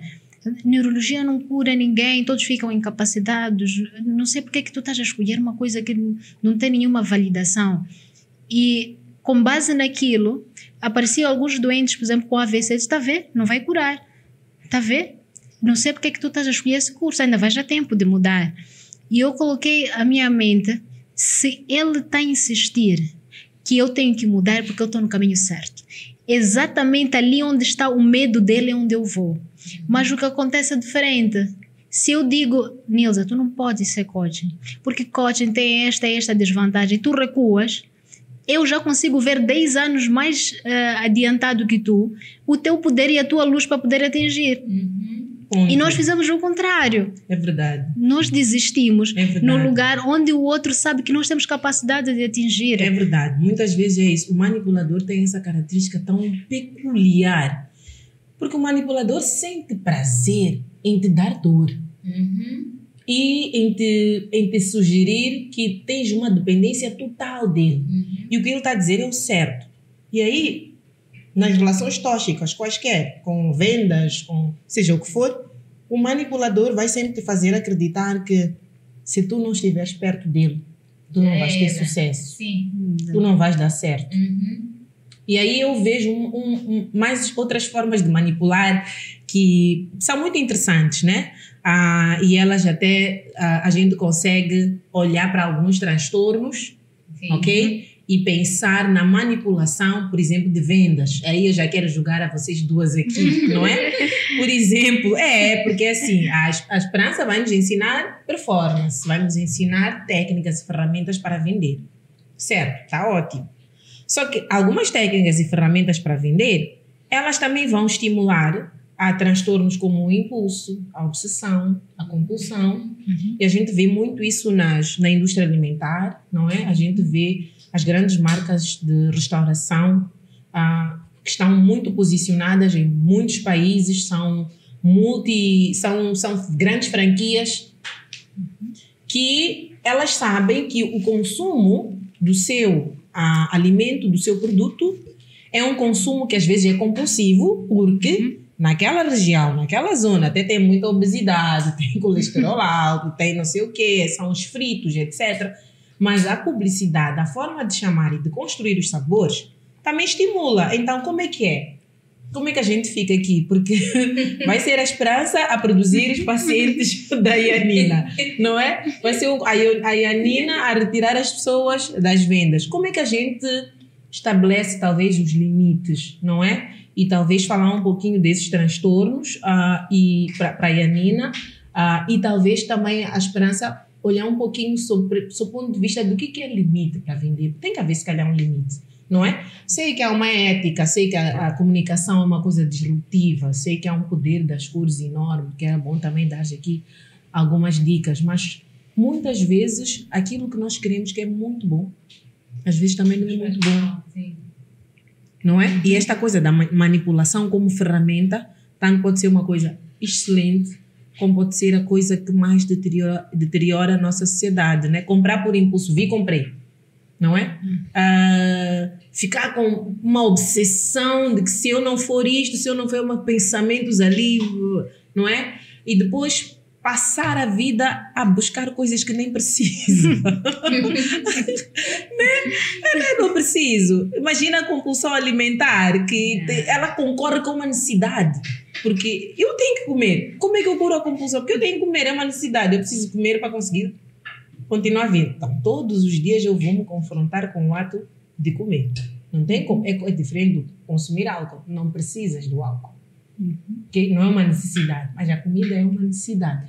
Como é que a gente lida com isto? Num mundo como este, em que a gente tem que ter a performance de venda de produtos, eh, de técnicas, etc., ao mesmo tempo que tem que ter o cuidado com a saúde mental, com a saúde física, com a saúde emocional e com estes transtornos que a, a gente não, não fala dos nomes deles, mas a gente vive muito isso todos os dias. Uh, muitas vezes nós nos exigimos demais essa exigência nós olhamos para fora, foi o que eu me referi há pouco tempo. Nós não olhamos por aquilo que nós somos e onde nós queremos atingir. Isto faz com que, uh, por exemplo, uh, alguém quer emagrecer, por exemplo, este emagrecimento é para quem? Ok, quero emagrecer porque o meu marido acha-me gorda. Quero emagrecer porque a minha esposa disse-me que está saindo uma barriguinha. Só que o que vai acontecer? Esta pessoa vai, come, vai começar a ter um comportamento totalmente diferente para atingir aquela performance para o outro. Só que aí vão começar a surgir alguns transtornos ao longo deste, deste caminho. Porque tem um vazio que é ele. Ele não concorda, mas tem que fazer. Uhum. Então, dentro daquele vazio tem que fechar. Então, apesar de fazer o ginásio, tem mais alguma outra coisa que ela já não gosta, porque ele tem que desviar para alguma coisa que ele gosta. E muitas vezes começam os vícios. Porque hum. eu tenho que fechar, já fiz o que tu queres, mas agora tenho que fazer alguma outra coisa para mim. E aí começam já a surgir outros tipos de transtorno, tanto os transtornos em psiquiatria, assim como transtornos individuais dentro da pessoa, porque a pessoa também já não se reconhece. A pessoa já não sabe que caminho está quem é, o que é que quer ter. Porque nas vendas, por exemplo, a manipulação das vendas, nós perdemos esta capacidade de conhecer o certo e o errado. Tudo que me vendem, eu compro. Uh, se a Nielsen agora descobre que tem uma essência, por exemplo, que é boa para evitar a demência, ótimo, compro. Mas nós perdemos a capacidade de perguntar quem trabalha com aquilo, se existe alguma avaliação, alguma experiência científica para poder usar. E nós vamos sendo as cobaias de, de outras pessoas. Vamos aceitar ser manipulados por coisas que nós não temos certeza. É, agora temos pacientes Google. Na consulta aparece, olha, doutor, eu tenho enxaqueca, minha dor de cabeça dói deste lado, depois de vez em quando tenho fotofobia, olha, uhum. Uh, depois uh, eu noto que vem vômito, umas náuseas. Está bem, ok. Bem. Agora, se deixarmos o Google, explica-me o que tu sentes. Não, dói a cabeça de vez em quando. Então, o Google já foi-se embora, porque foi pesquisando. Eu sempre digo, nós os médicos, nós não usamos Google. Nós temos plataformas específicas para podermos investigar e as pessoas, uh, paciente fica, paciente Google, porque vai investigar em plataformas que qualquer um pode colocar lá informação. O mesmo que acontece por, por este conhecimento dos manipuladores de vendas, já que é a área uhum. da esperança, aproveitam-se, porque vão colocar informação dentro do Google, uma informação que pode não ser credível. E nós vamos consumir porque a pessoa também quer vender. Diz: olha, vai ao Google, coloca lá informação, de ver tudo sobre este, este produto. Só vai lá, uau, top vou experimentar. Mas nunca aproximou-se alguém daquela área, alguém uh, especialista ou alguém que tenha conhecimento uh, já de, de, longa data sobre uhum. o assunto, sobre a experiência de, daquele produto. E nós vamos consumindo. Depois de ter alguma complicação, é que a pessoa recorda-se. Olha, deixa, deixa perguntar, porque eu já estou há um ano e estou a ver que estou a ter algum transtorno. Se nós conseguimos colocar o limite do certo e do errado, nós vamos conseguir fugir muitas situações de manipulação. manipulação. Agora tudo é certo. Se formos já notar, principalmente agora com redes sociais, hum. qual, qualquer informação é certa. E nós já perdemos esta habilidade de discernir que esta informação é boa para mim, vai construir alguma coisa, vai ocupar o meu tempo, porque o meu tempo é investimento. O que é que eu estou a fazer aqui? O que é que eu preciso para mim que eu vou encontrar nesta plataforma? Então, quando nós já não, percebe, já não conseguimos discernir estas coisas básicas, imagina a manipulação que vem de fora de algum produto que vai responder à nossa necessidade. A nossa necessidade. E aí é. a gente começa a, a desenvolver transtornos ou a piorar os transtornos. Sim. Depois tem muito essa coisa de imediatismo de doutora, estou com depressão. né? Tenho, tenho burnout. É uma coisa que eu ouço, é assim, minha especialidade é comportamento humano, eu, eh, minha especialidade é gestão de pessoas, minha especialidade é gestão de equipas, minha especialidade é performance de equipas. É tanta coisa que quando eu ouço alguém dizer que tem burnout e nem trabalha, burnout está associado ao trabalho. Ponto. Trabalho, sim. Uhum. Dois, mesmo trabalhando, o stress da vida diária, etc., existe. Uhum. A gente tem que trabalhar. São oito horas, às vezes vão ser nove, às vezes vão ser dez, é verdade. Ok? A gente vai, vai viver isso. Burnout não é uma coisa que da noite para o dia você diz que tem porque está cansado, porque o uhum. chefe te irritou, porque pediu-te coisas. Então, muitas vezes nós, por causa do imediatismo, nos autodiagnosticamos, nós já queremos ir manipular o médico, o especialista com quem estamos a trabalhar, exatamente porque não nos damos o tempo de distinguir o certo e o errado e consultar plataformas válidas. Antes mesmo de ir para, para a esperança, uma coisa que eu acho que é muito importante, principalmente porque as profissões estão disruptivas. Eu falo muito sobre isso com coaching. Eu recebo muitos jovens que querem ser coaches. Porque, por exemplo, eu na minha igreja, quando falo com meus irmãos da igreja ou no meu grupo no bairro, muitos jovens não se suicidam porque conversam comigo. Então eu acho que eu sou coach, etc. E alguns é, é uma insistência que a minha equipa fica assim porque querem ocupar os palcos. Já querem ir para os meus eventos falar, porque etc. Eu acho que é fantástico a gente descobrir a nossa paixão. Mas depois tem que lapidar. Uma coisa é o talento, outra coisa é a habilidade. Uhum. A gente tem que lapidar. O coaching é um método. Método é caminho para a meta. Mas o coaching, ele só funciona se tiver conteúdo. O teu coaching é para quê? Então, qual é a ciência por trás daquilo que tu estás a dar? Quando a gente se permite viver o método, o passo a passo, a gente vai respeitar o processo e encontrar os profissionais certos. Eu costumo dizer assim: quer ser coach de que área? Formação superior nessa área tens? Ah, ah, e aí vem o que? O imediatismo. Uhum. E depois fica uma coisa que acaba deturpando uma profissão que é geral, de todos, não é? Que é uma pessoa abala um conjunto. Só um médico cometer um erro é um barulho à volta de todos os médicos.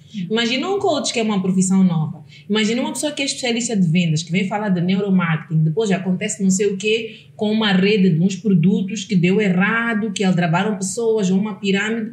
Fica um conjunto a parecer que é o problema, mas é o imediatismo. Eu acho que este, esta coisa da gente querer manipular e viver com a manipulação sem olhar para o certo e o errado acaba nos empurrando a coisas que distorcem a ordem da nossa sociedade né? e ferem sistemas.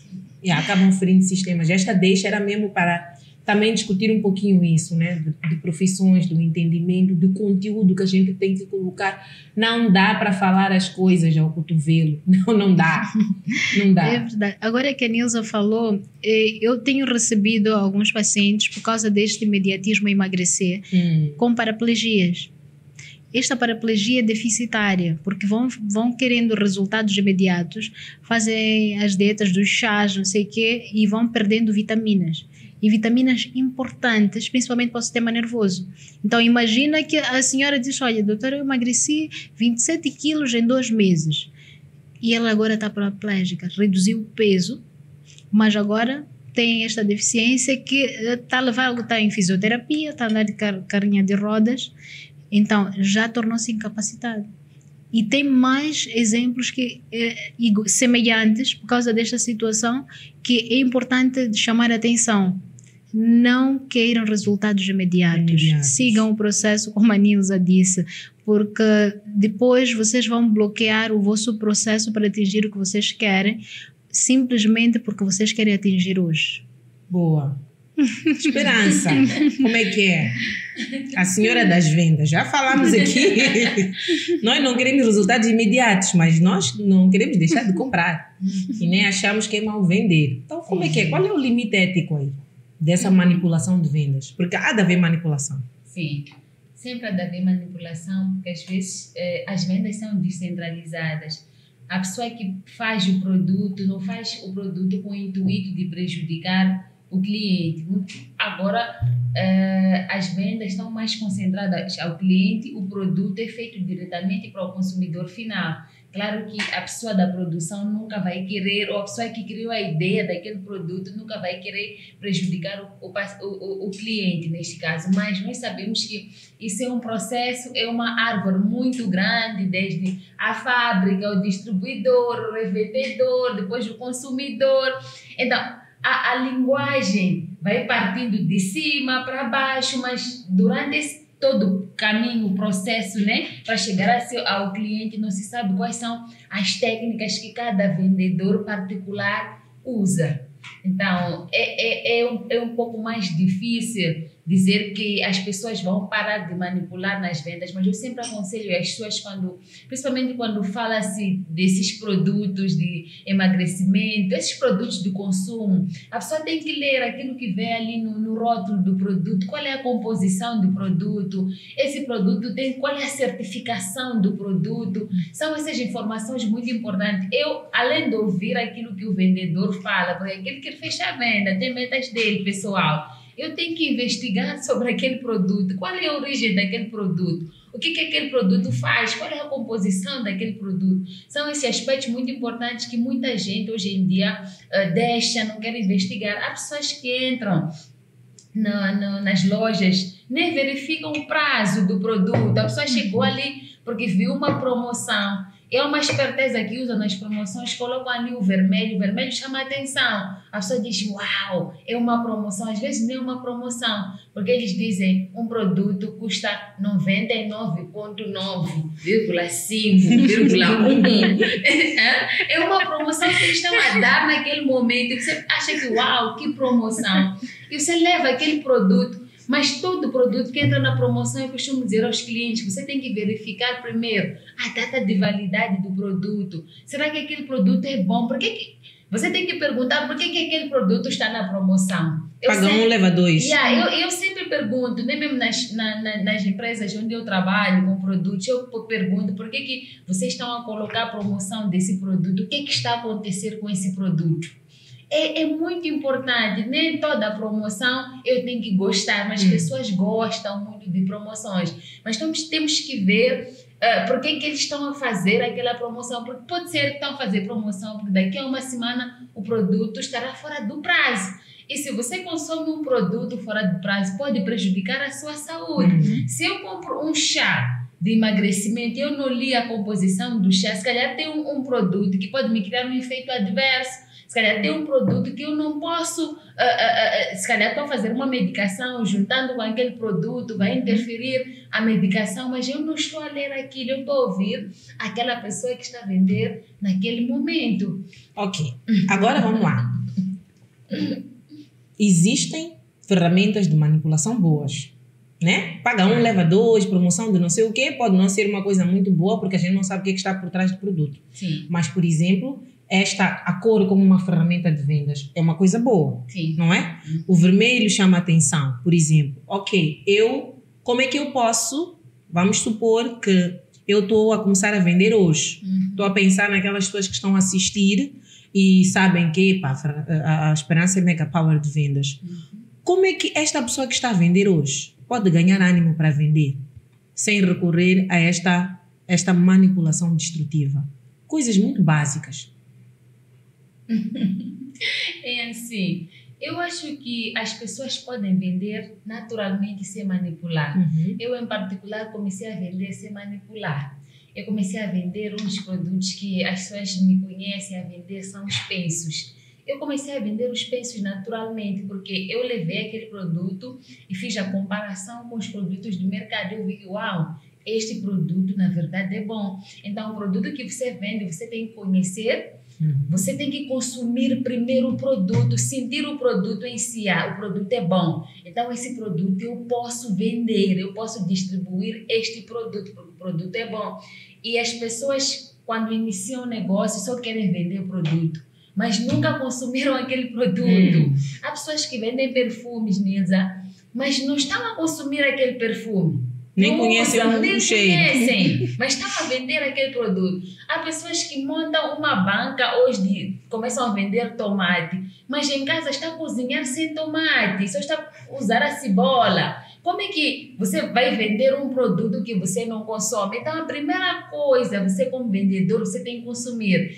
Uma vez trouxeram suplementos na, na, na firma onde eu represento, disseram esse suplemento é masculino, é para fortificar os homens, os homens terem boa ereção, não sei o quê. Eu disse, diretor, eu quero tomar esse suplemento. Uau. Antes de eu levar para meu cliente. Ele disse, não, esperança esse é de homem, não sei o quê. Eu tomei suplemento masculino. Que tal eu levar aquele suplemento vender para o meu cliente e o cliente morrer na hora? Eu tenho que provar aquilo. Isso é bom. Ao menos, ao menos morre o marido dela primeiro. o trabalho que ela vai dar tomando aquele suplemento e ele funcionando. Eu tomei o suplemento masculino. Ou foi essa a estratégia de venda? Se calhar ele casou assim. Foi o suplemento. A dica que ela não nos deu no início está nos da, está a dar-nos agora, mesmo no, no, finalzinho aqui do nosso podcast. Uau! Yeah, eu tomar aquele suplemento para. Yeah, eu queria sentir a coisa, o suplemento é funcional ou não? Ainda vende esse suplemento? Bem, eu Ah, vendo olha, aí o pessoal que está a assistir a esperança. Então, são esses aspectos que o vendedor precisa ter. Isso. Você tem que consumir o produto. Qualquer produto, você vende roupa, você primeiro veste a sua roupa, as pessoas vão se espelhar. Ela está a consumir aquele produto. Você vende suplementos, toma aquele suplemento, é bom. Se é bom para o cliente, vai ser bom para ti Isso, também. isso. Então, você tem que ser um, um- um vendedor. Eu costumo dizer, você tem que ser um verdadeiro profeta. Não pode andar a falar com as pessoas coisas que você nunca, nunca provou. É aquele, aquele que vende a finanças extraordinárias, mas está cheio de dívidas. Sim, não, Não paga as contas. não A gente também tem que começar a, tra- a saber anda atrás de quê, não é? Como é que é a vida desta pessoa que me está a prometer coisas que têm a ver com comportamento, principalmente, com Uhum. resultados que influenciam na minha felicidade, nas minhas emoções. A gente tem que começar também a investigar um pouco mais, não é? Uma, uma dica muito boa essa: consumam aquilo que vocês vendem, ok? Aí fica o quê? Aquele que vende cigarros consome cigarros? Epa, tem que provar, tem que provar. Pode ser. Yeah, tem que provar. Aquele que Você vende, que vende bebida alcoólica consome bebida É. alcoólica Como é que você vai vender uma coisa que você não consome? ou que não acredita? Que não acredita. Se calhar fica por aí também. Você Se é tem um- que provar, é uma nova marca de, de bebida, você tem que ser o primeiro, mais que você não seja aquele consumidor, para quem não bebe, mas prova. Pode ser um veneno aquilo. Ou se calhar se não bebe, se está fora daquilo que a pessoa acredita Sim. que é bom para o estilo de vida, se calhar não, não assumir isto como um produto para vender, né? Porque aí a gente vai voltar a virar charlatão, vai falar de uma coisa que não conhece bem, ou vai entrar num universo que a gente sabe que não é bom, por exemplo, vamos falar do tabaco, não é? Que tem um, um fator prejudicial muito grande e você vai vender, você sabe que prejudica a A saúde, saúde, etc. Mas como sim. dá dinheiro, eu vou vender. Aí fica o limite também do princípio ético, não é? E das coisas que acreditamos. Uma vez, Uau. desculpa, Nisa, uma vez fui ao banco, então cheguei ali no balcão, a senhora me atendeu e disse: Olha, Dona Esperança, temos um cartão novo. Este cartão é pré-pago, serve para fazer as compras, não sei o que, que eu disse. A senhora está a usar esse cartão? Foi a primeira coisa que eu lhe perguntei. A senhora está a usar esse cartão? Ela ficou silêncio, uma coisa de dois minutos. Depois, no fim, disse: Sim, estou a usar o cartão. Eu disse: Ok, eu também quero o cartão. Yeah, boa. Yeah. Uau, uau, ótimas dicas aqui para nós, né? Ótimas dicas. Vende batom, vende coisas, né? Tanta coisa que não consome. É? Exatamente. Uma ótima dica. Perguntar se a pessoa consome. Gostei, muito bom. Uau, muito bom. Eu podia conversar o dia inteiro convosco, que eu não me cansava. Eu acredito que quem está em casa está com tanta sede, tanta sede. Mas é bom, vem prosperar é isso. É ativar gatilhos que nos fazem querer encontrar caminhos para ser cada vez mais felizes, para ter mais resultados na nossa vida. Aí eu quero já mesmo ah, caminhando para o nosso fecho. Triste, tristemente. tristemente. Mas a gente está na nossa praia, a gente quer continuar aqui, né? Nas ondas. Ah, como é que vocês se veem daqui a cinco anos? As senhoras da performance, do resultado, dos sonhos, das paixões. Como é que vocês se veem, Janina? Uhum. Uh, eu não me vejo à frente, eu me vejo com as minhas, as pessoas que eu inspiro ao meu lado. Boa. Porque se eu estiver à frente, significa que eu não inspirei pessoas, não, não inspirei uma geração. Então eu me vejo à frente com aqueles todos que eu inspiro hoje e a inspirarem mais pessoas comigo. Então, daqui a cinco anos, eu quero que todos aqueles que hoje acreditam e eu inspiro que estejam ao meu lado para podermos formar uma geração que esta geração não seja uma geração uh, com um pensamento, eu chamo de pensamento medíocre, porque é aquele pensamento que nos mantém no mesmo lugar e não nos permite de voar uhum. e de conhecer os lugares extraordinários que a vida nos pode uh, proporcionar. Então, daqui a cinco anos, eu quero estar com todos eles. Uau! E nós queremos estar contigo daqui a cinco anos. É. Boa! Esperança. Daqui a cinco anos. Ai, meu Deus. que pergunta. Mas gostei porque eu sempre, eu sempre paro e penso como é que eu quero estar daqui a cinco anos, daqui a dez anos. E é aquela coisa, eu quando comecei a trabalhar com vendas, eu tinha uma equipe, tenho uma equipe até hoje, que eu sempre dizia uh, visão 2023. Nós tínhamos uma visão sobre o nosso negócio até o ano 2023 e muita coisa aconteceu de um tempo para cá e nós ainda estamos aqui no negócio, estamos a crescer em equipe, estamos a crescer de uma forma estrondosa e agora a nossa visão é visão 2030 onde teremos uma indústria muito grande de marketing de rede aqui em Moçambique a ideia é as pessoas conhecerem várias formas de venda. A ideia é uma empresária como a doutora Nilza, dizer Esperança organiza a minha empresa, monta um sistema de marketing de rede na minha empresa, monta um sistema de vendas por comissões na minha empresa. Então, é essa visão, Moçambique é, crescer usando este modelo de, de, de, vendas ou outros vários modelos de vendas que, que eu falo e que eu ensino à minha equipe. Uau. E que esse modelo de venda daqui a cinco anos mesmo uh, não seja mais um tabu, porque agora ainda é tabu, as pessoas têm medo, as pessoas têm muitas questões, têm muitas dúvidas. E as pessoas daqui, a minha visão é que uh, a venda torne-se profissão. A pessoa não ter medo de dizer, olha, eu sou um vendedor. Yeah, eu vendo. Muito profundo, muito profundo. Uau! Uma das rubricas que nós temos também uh, é a, a interação entre as pessoas que eu convido e eu. E aí fica um momento para uma pergunta para mim. Eu então, pensar, se calhar pode ser uma pergunta. Depois fico sem pergunta. Boa! À vontade. Aí está. Estou esperta.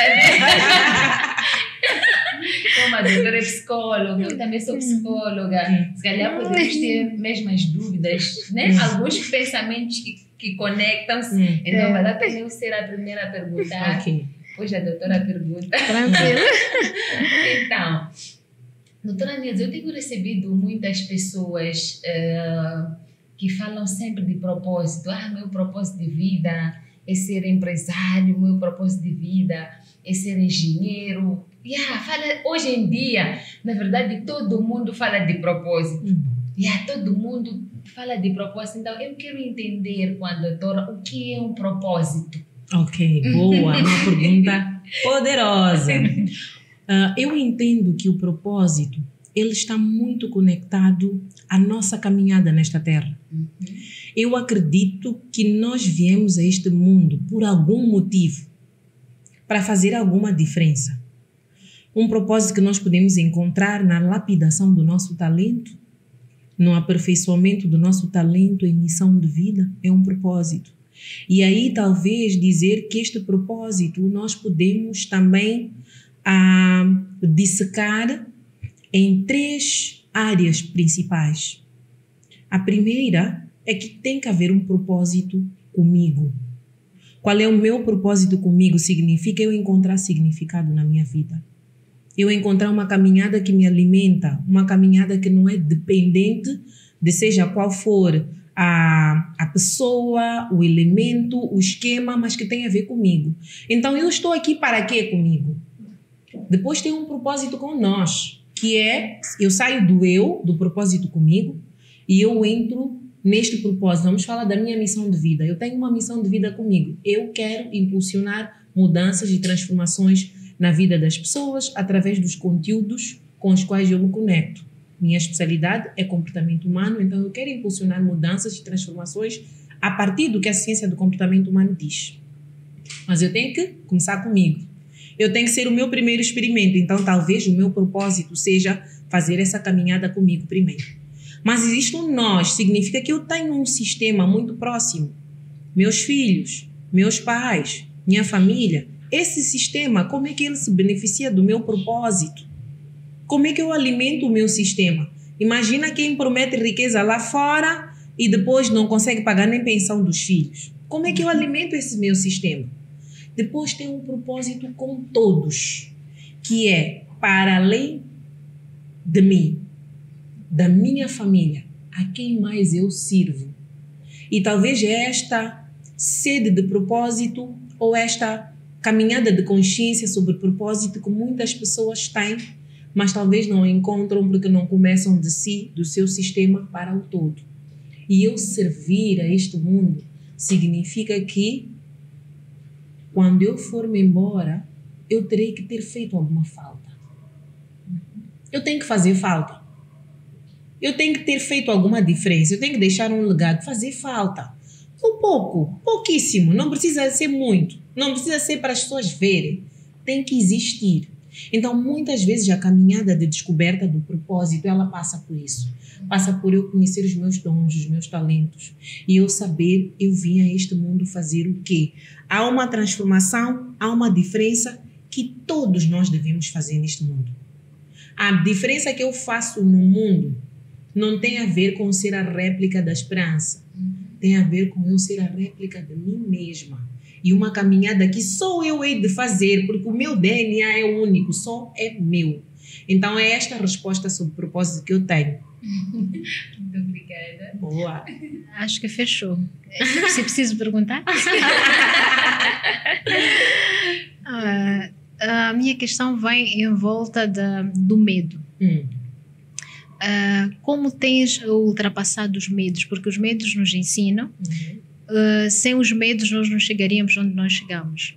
Para aquele jovem que tem medo de atingir o seu propósito de começar, qual é a dica que, que deixas para, para eles tirarem este, este tabu, este limite que não lhes impulsiona a atingir o que eles querem? Boa pergunta. O medo é uma emoção básica. Todos nós, seres humanos, temos, e nem é uma emoção só nossa, os animais também têm medo. Ok? Muitas vezes nós pensamos que estamos a ser atacados, na verdade, o animal está com medo que tem que sobreviver. Então, o medo é uma emoção básica, mas também é uma emoção de sobrevivência. Aí o que, que acontece? Essa sobrevivência vai começar a construir imagens e palavras na nossa mente, esta necessidade de sobreviver. Porque é uma emoção, então é a forma como o cérebro vai codificar. E claro, é um alerta do perigo. Se é um alerta do perigo, eu tenho que sobreviver, então vai me fazer sempre querer fugir ou querer atacar.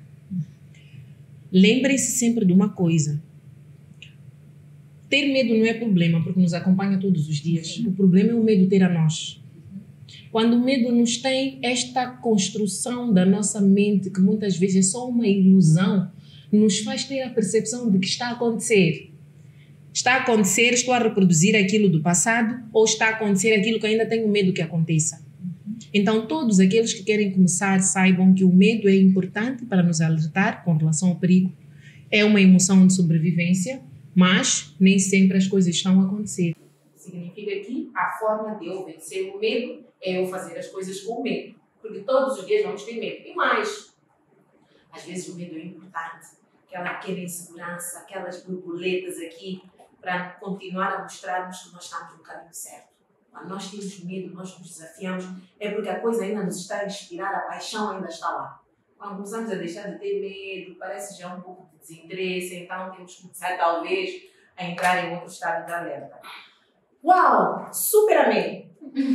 Super respondi, doutora! Obrigada! Uau! E este foi mais um podcast Vem Prosperar. Seres de luz, eu estou muito feliz e muito grata. Quero agradecer e pedir uma salva de palmas para as nossas convidadas.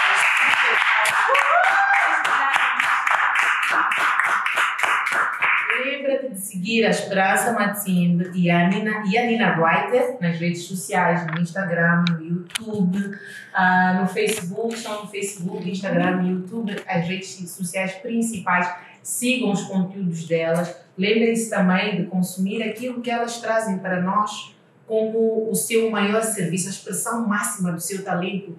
O livro da Yanina, que eu peço aqui rapidamente para fazer a minha promoção ou me mudo ou me perco. E a Nina Reiter traz aqui esta obra muito boa. Como vocês veem, com esta serenidade, esta calma que ela tem, ela também fez um livro sereno e calmo. Para vocês que não gostam de ler, o livro é magrinho, dá para ler e aguentar os conteúdos à vontade, ok? Mas eu digo-vos, quando a gente tem obras como estas, a gente sempre quer mais. E eu sei que a Yanina tem sempre pessoas que querem mais, porque esta obra está a despertar muito interesse não só pelo conteúdo, mas é porque é verdadeiramente uma obra transformadora. Tem também o livro Transcender, a obra da Esperança Matim. Lembrem-se de comprar este livro, comprar esta obra. Esta é aquela primeira versão com a primeira imagem. A dona não muda, anda com este. Nas bancas, se calhar, a águia já não está assim. Mas ela gosta de andar com esta versão. Acho que tem a ver com a história, com o amor, com o futuro e aquilo que ela acredita que é o importante, que é o melhor. Seja de luz, estou muito feliz e muito grata. Agradecer mais uma vez aos nossos patrocinadores, a Just Flavors, a Cerissa Amor e Doce, Jadar Eventos e Bem-Estar, a Mosettes, a Navarro's Closet, a, espero não ter esquecido de alguma, de alguma entidade, mas todos vocês que nos têm apoiado, que têm materializado este sonho que é o podcast Vem Prosperar, muito obrigada. Gratidão profunda também pela audiência super top que vocês nos dão e pelo feedback. Até o próximo podcast. Tchauzinho!